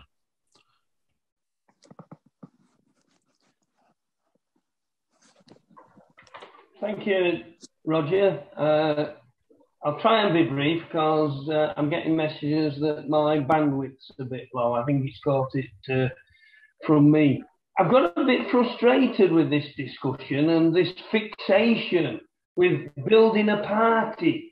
You know, we don't need another party. What do you do? You build a party, and the first thing you discuss is which section of which fourth international of the Ives varieties that you affiliate to, etc., etc.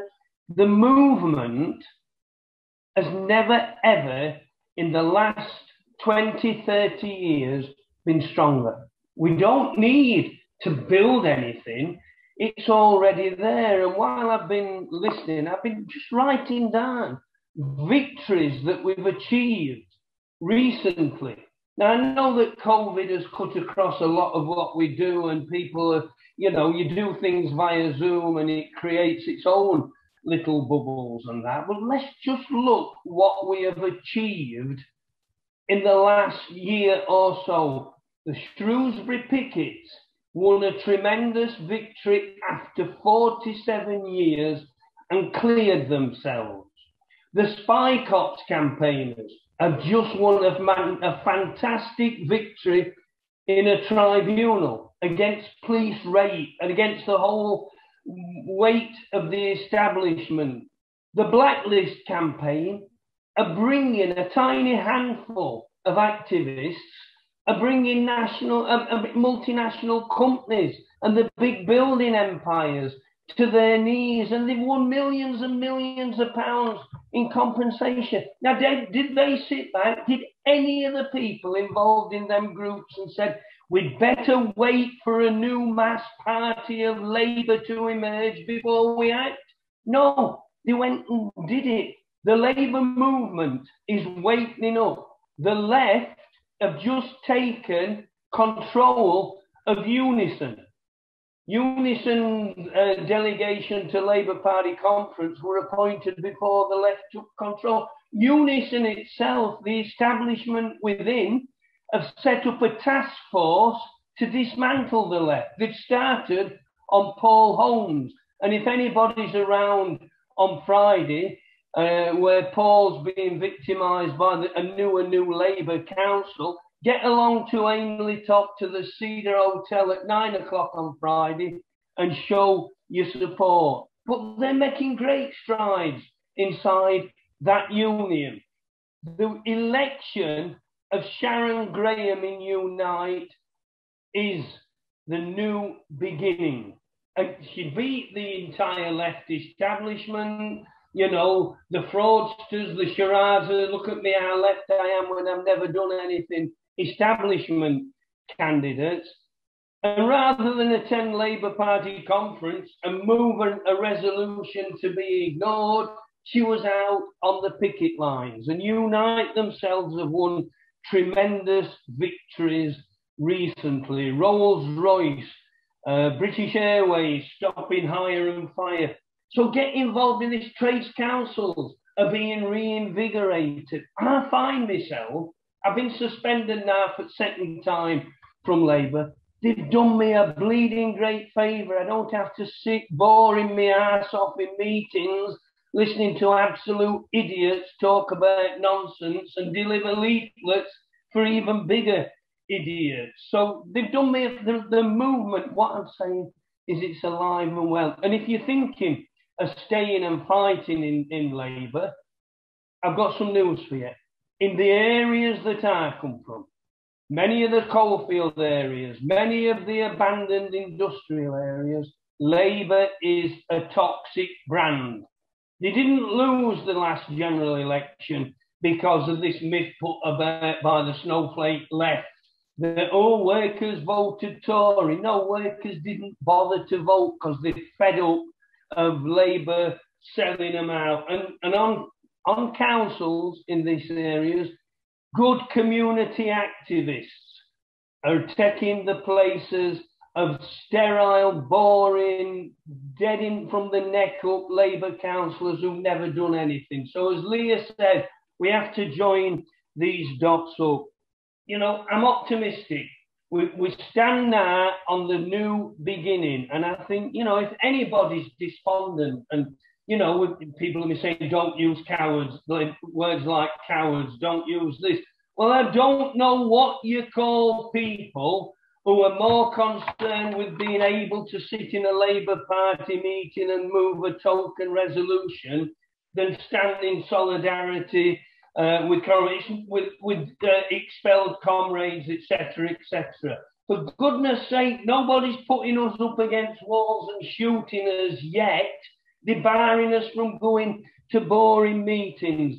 And I'll finish on this if you really want to see the Labour movement at its finest and at its strongest, the Durham Gala, the second Saturday next July, will be the biggest, the strongest ever.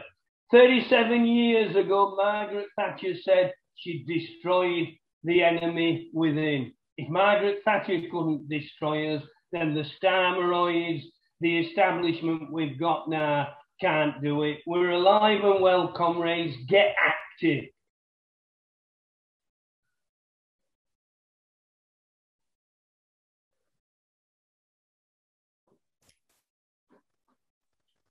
Understood that Carol is back with us now.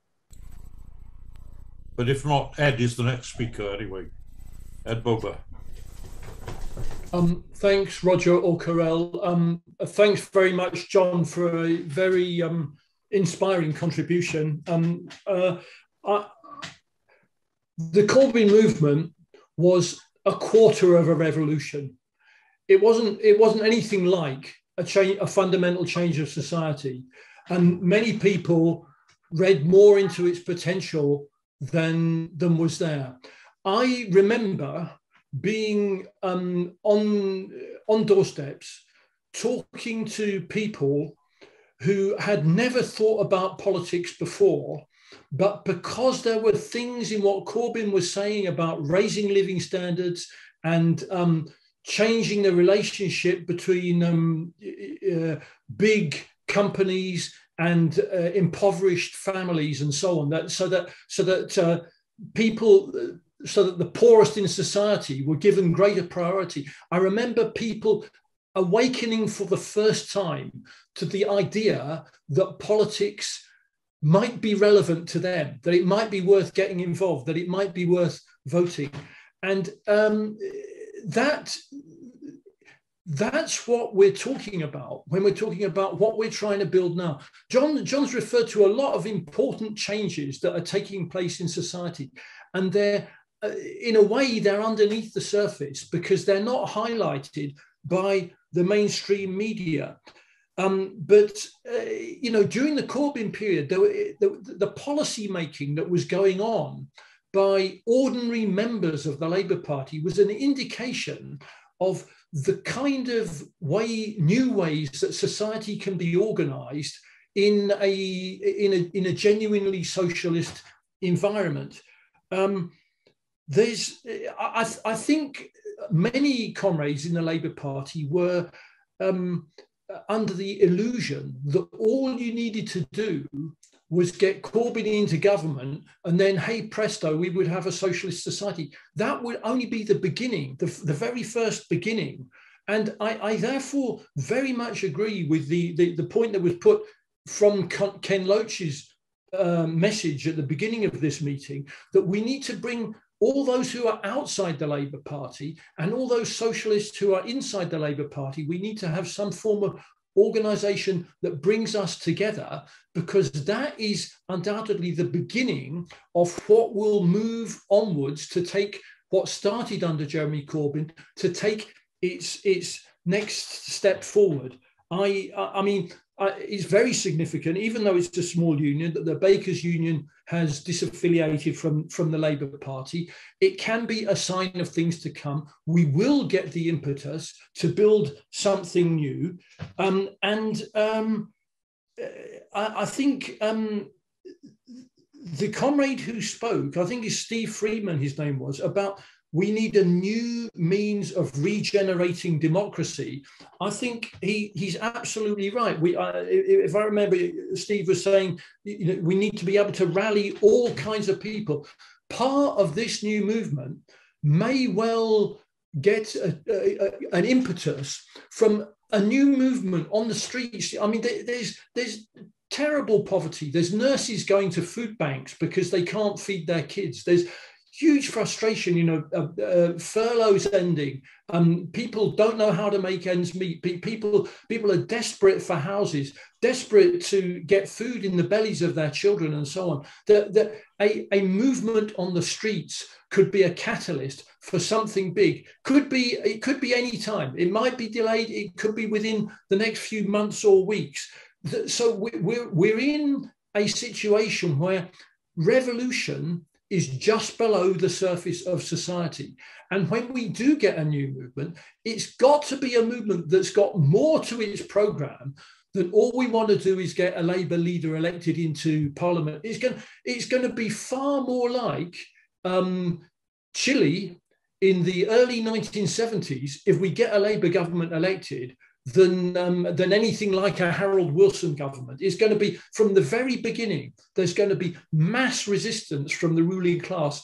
All kind of, if we think if we think Corbyn's movement was sabotaged, the sabotage that would be perpetrated against a, a, a, new socialist government coming to power through parliament would immediately show Corbyn began to show this, his movement began to show the limitations of parliamentary democracy.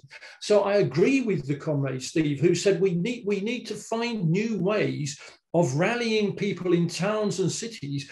And we need to be talking, this, this links with the points John was making about the trade unions. We need to be thinking about how workplace democracy begins to fit in with policy making at a national level. This was, after all, the way that the Russian workers uh, brought about the overthrow of capitalism in 1917 by not, not through the, the means of a bourgeois parliament, but through the means of workers' organizations taking the power in their own hands. And we have to be working towards that in the new organization that we are capable of building from the, the, the class consciousness that is already uh, beginning to develop in British society at the moment. Thank you.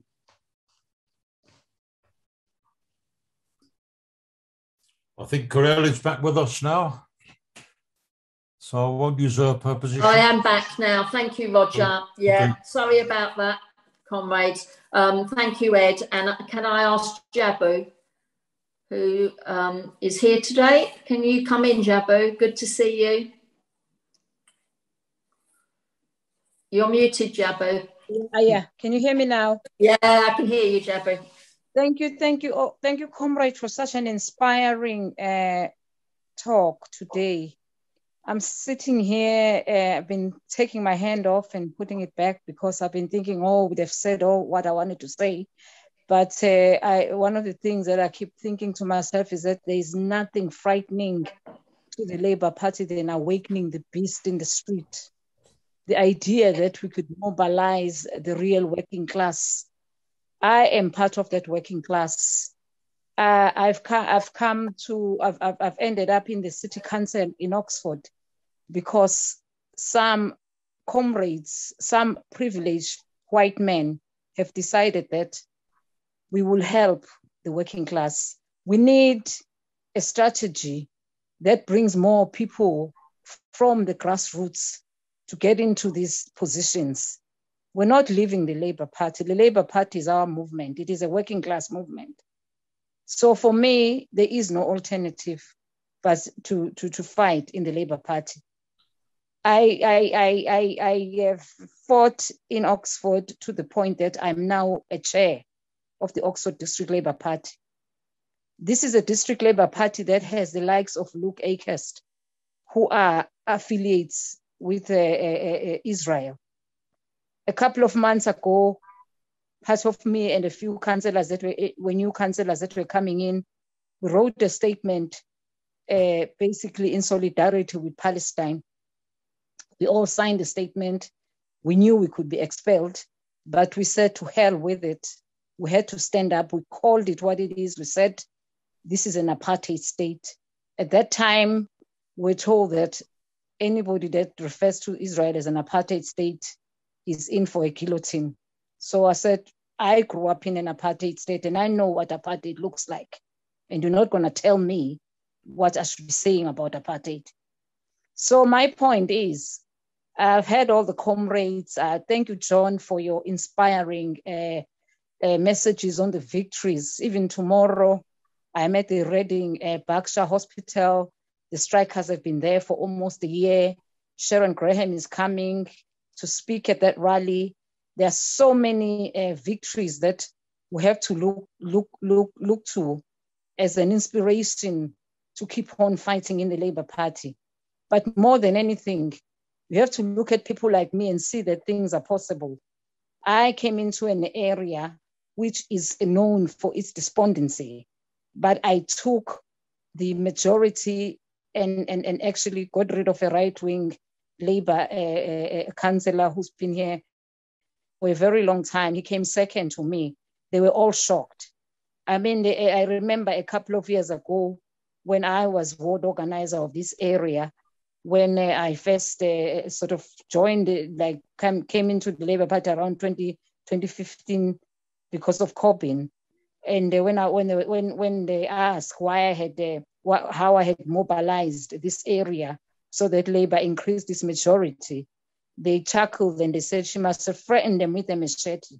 I have been subjected to so much racism, but I said to them that year that uh, even, even if you can say that all those things, I am staying in the Labour Party and today I am their chair. So what we need in this whole of the, the UK, we need people like me. We need people that can step aside and mobilize more grassroots activists to take on positions in the Labour Party. This is our movement. Thank you.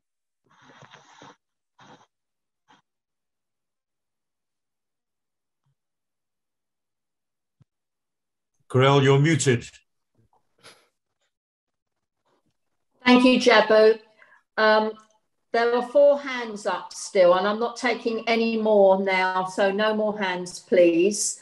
Um, the, uh, the speakers are Harry, Becky, Christine and Norman. I don't know which one of you want to speak, and then John Reimann. I'm going to ask you, because of time, to keep it very brief and to make your point succinctly.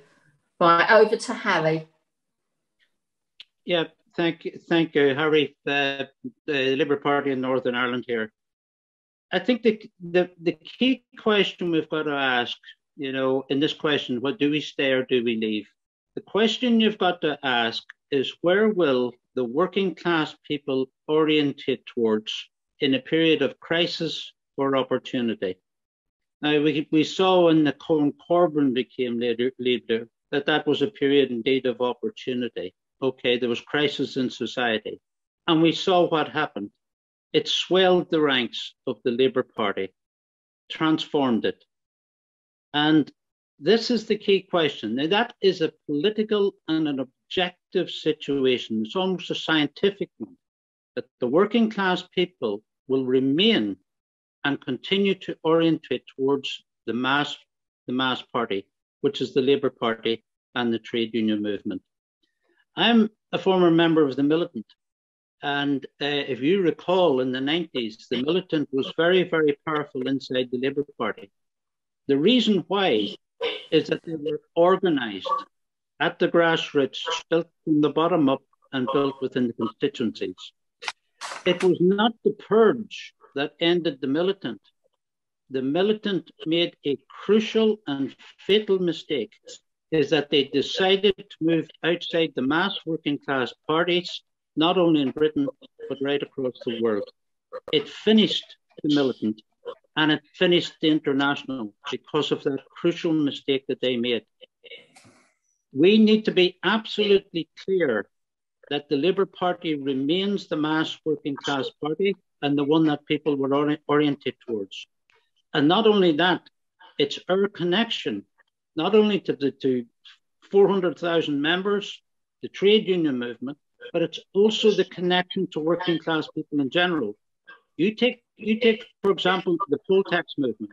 That was created by the militant at that time, reached out into labour and trade union members, but also to people in general. That was their connection. It was done by effectively not a very huge party, but because it had a program that was going to take on that issue. I think we're a little overfixated in simply getting a new leader, a left leader, with where the real concentration is building the movement from below.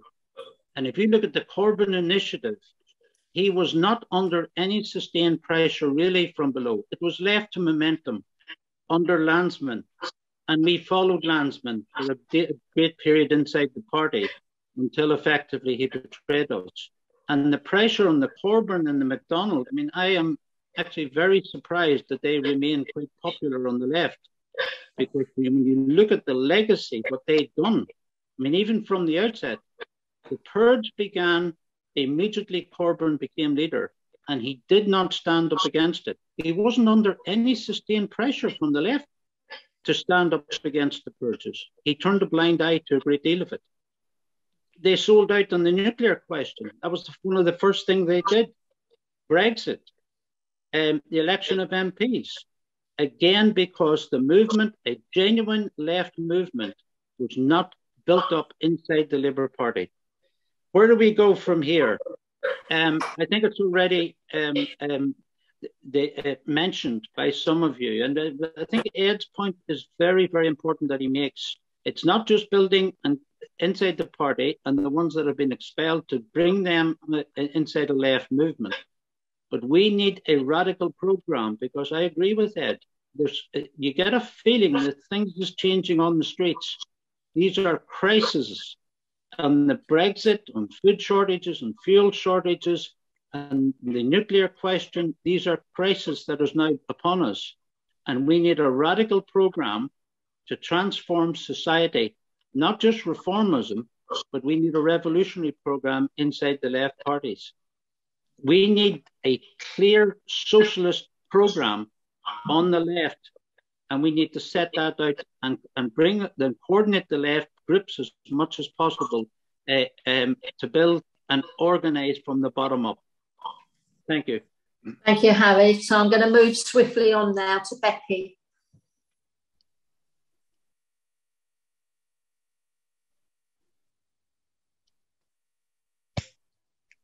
You're still muted, Becky. Maybe. Yeah, we can hear you. Unmuted now? Yeah. Okay. It's been a very, very interesting discussion. Um, I'm a little bit anxious that our energies don't get dissipated by endless conversations about the Labour Party. I think that's a distraction. And I agree with what Harry just said. And I think Esther said it earlier about we, we have to establish a programme that the left, whether inside or out the Labour Party, will push for and will push for in our communities, um, in the constituencies, and so on and so forth. I mean, I, I don't have the luxury of any choice because I, I'm expelled from the, the Labour Party. Um, one of the things that I would like to see in a programme, and I do think is a priority for us all, is um, the ability to speak. Um, and that has systematically been taken away from us. I know, as somebody who lives in Brighton, we have had venues shut down to the left, um, pressure's been put on them. We've just seen David Miller sacked for his research into propaganda and um, global um, corruption. Um, I think we are living in a very, very dangerous t- time in terms of our ability to speak about a program. We need a program, then we need to be able to speak about it. And we really do have to um, get wise, you know, because we know it's happened to us within the Labour Party. The current Labour Party, I believe, would be more repressive on freedom of speech than the Tories ever would be. Um, and, and this has got to be a major part of our programme. We are free to speak, we are free to assemble.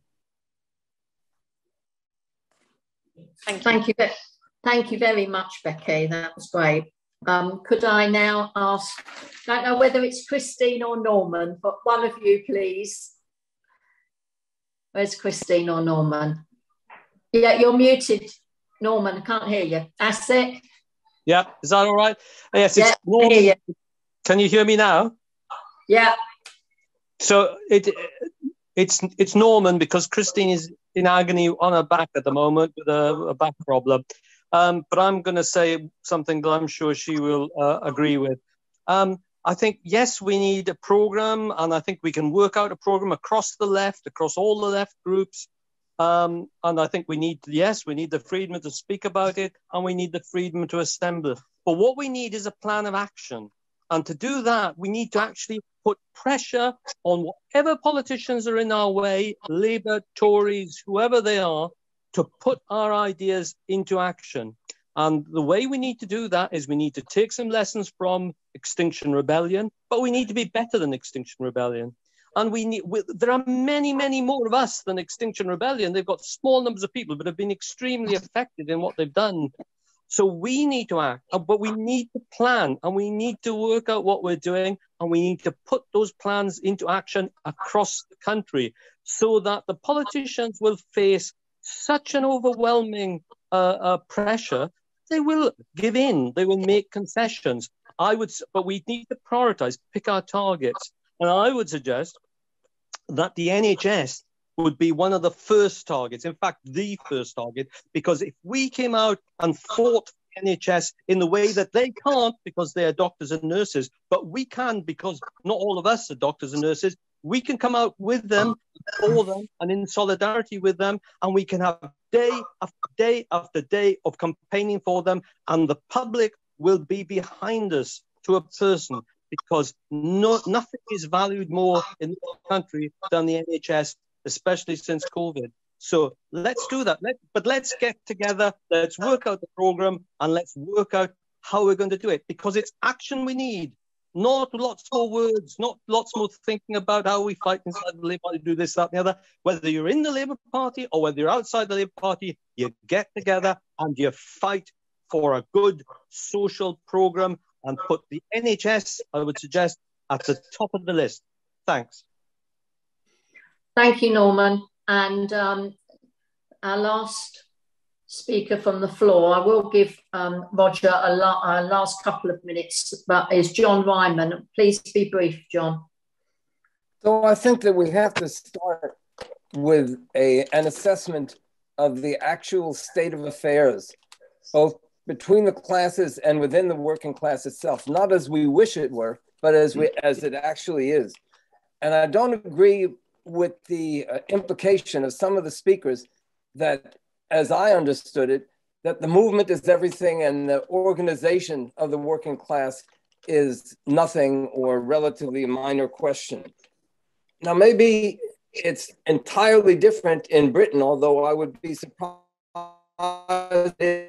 is here in the United the situation within the unions, which are the only mass working class organizations that we have ever re really had, the situation is nearly disaster. You have a union leadership that is absolutely uh, right across the board. Uh, the entire union leadership is absolutely committed to this idea that they have to help their employers increase their profit in order to quote compete with the with the uh, with others. Oh, I think we've lost John.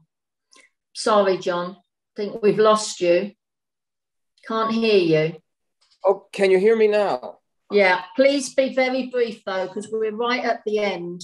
So uh, I was just saying that the situation in the unions here is in, is a real disaster, and because of the role of the leadership in the main, you have actually the majority of white blue collar workers who vo- voted for Trump. And that uh, includes, you know, complete with all the fantasies that uh, Trumpism entails. And actually, large, and uh, including the anti science views, which uh, run right through the working class or large sectors of it, including amongst Black workers. Um, and you also have, for instance, just yesterday, we had these big mass marches throughout the United States um, uh, in favor of abortion rights. I went to one that was um, thousands and thousands of people in San Francisco. I did not see not one union banner, not one union uh, uh, sign, not one union T-shirt even. That really shows how completely missing in action the unions are in in the in the movement. The same has been true for Black Lives Matter and so on. So, just the last point I want to make, I believe that the most important struggle here in the United States in uh, recent months has been the struggle of carpenters up in Western Washington against their own union leadership. And it has been in many ways uh, really inspirational. I'm not sure if they're going to succeed or not, but there will be no real revival of the working class movement here in the United States without us that open, overt uh, conflict between the rank and file and the union leadership. And I suspect that um, things are not entirely different there in, in Britain. Anybody that wants to know more about the struggle in Western Washington, I've had a whole series of articles and videos. I was up there on my blog site, Oakland Socialist. Thank you, John. Thank you. Put something in the chat now because of the time. Um, I just one of the disadvantages of being the chair is you don't get to, to say what you want to say. I just want to say something very quickly uh, before I uh, ask Roger just to have a couple of minutes to talk about next steps, etc. In Newham, the poorest one of the poorest boroughs in the country. We are in a desperate situation. We have 10,000 people here with no recourse to public funds. We have the highest housing waiting list in the country 28,000 plus individuals. We have luxury flats going up where the lights are turned on and off, at the concierge system, because they're being used as investment. And so we know about the class war here. Um, and we understand solidarity. So that's why when we were suspended, we had to set up something that keeps people who are in the Labour Party with us and people who felt they couldn't stay or had been expelled, etc., that we would all stand together. And it is about joining up the dots. As Roger said, the Labour Party completely dominates in this area.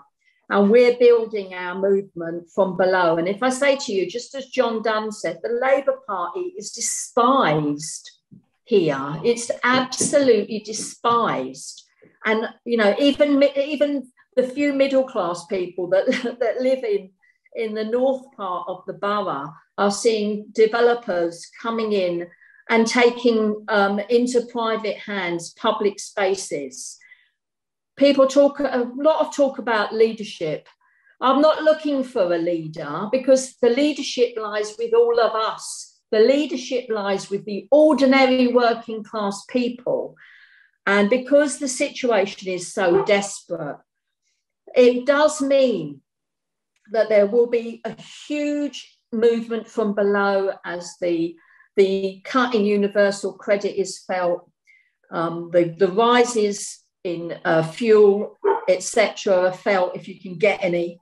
So it's our responsibility to make sure that there is an, a group of people, an organisation, call it what you like, who are there who are fighting. We've got a, we've got a program around housing. We've got a program around health and education. We've already we've already had lot those conversations and written them.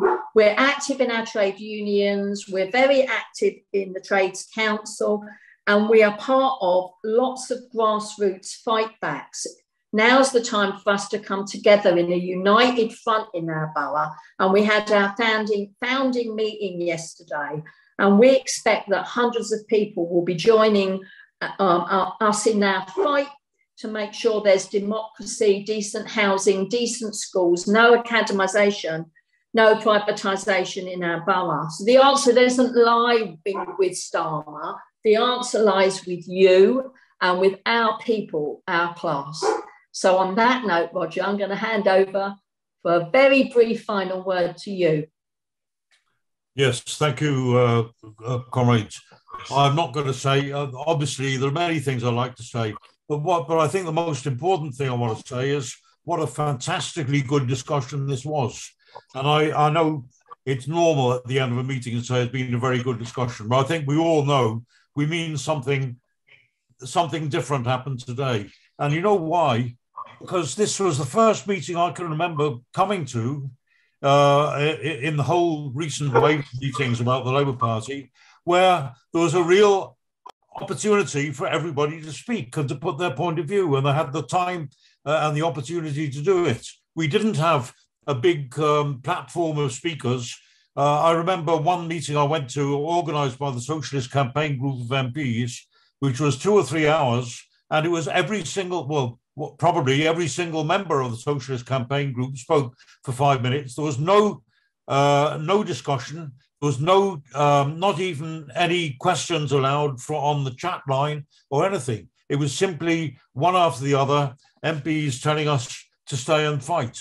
Uh, rather, they didn't even say that. They said, "Don't leave, um, uh, stay and fight." Well, I mean, they seem to be, as I say, better at doing the first half of that than, than the uh, second. The fight is coming from the rank and file here. Now, we've shown there's enormous talent and experience and a wealth of ideas within our movement. And uh, that's what we base ourselves on. Now, the, there seemed to be really a consensus developing. Obviously, there were many things, many things that comrades uh, differed on. But generally speaking, there's a consensus coming that we need to develop inside and outside the Labour Party that we need to, the comrades who still have that chance to fight in the Labour Party, they should do it. But they must use that opportunity to fight. There should be no, absolutely um, no thought given to the idea that we have to stay in and we have to compromise our ideas, we have to uh, modify the way we speak and so on in order to uh, maintain that place in the Labour Party. We go in and we put our point of view and we um, we fight for our ideas. And if we're if we're kicked out, well, so what? So what? I've just been kicked out too. So what? Um, you know, uh, so was Nye Bevan. So was George Lansbury. So was Michael Foot. So were the Liverpool councillors. I mean, that's that's um, that means nothing. Uh, as far as I'm concerned, I'm proud to be uh, standing um, in their in their ranks. But the uh, question of the question is why do we let? Obviously, we we we want a movement where we're both in, where we have comrades, whether or not they're members of the Labour Party or been expelled or dropped out or, fed up with the Labour Party or what. Why should we let Keir Starmer decide who should be members of our political circle? That's just not on. We have to say we're together anyway, and where we work is uh, is a matter of local circumstances, personal preferences and all kinds of things. I mean, the, the, the, point is that we must stay together, and there seems to be a consensus developing. I was very pleased to hear that um, uh, Ken Loach said what we want is uh, a movement.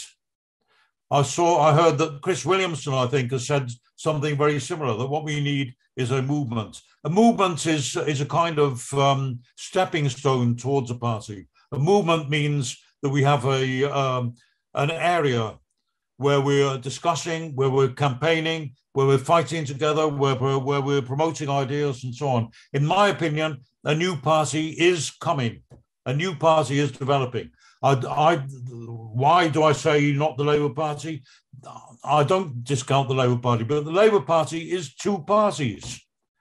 The Labour Party has always been, well, certainly since 1994, the Labour Party has been two parties. And it's not, I don't say that. Tony Blair said that. Tony Blair said, I'm not Labour, I'm New Labour.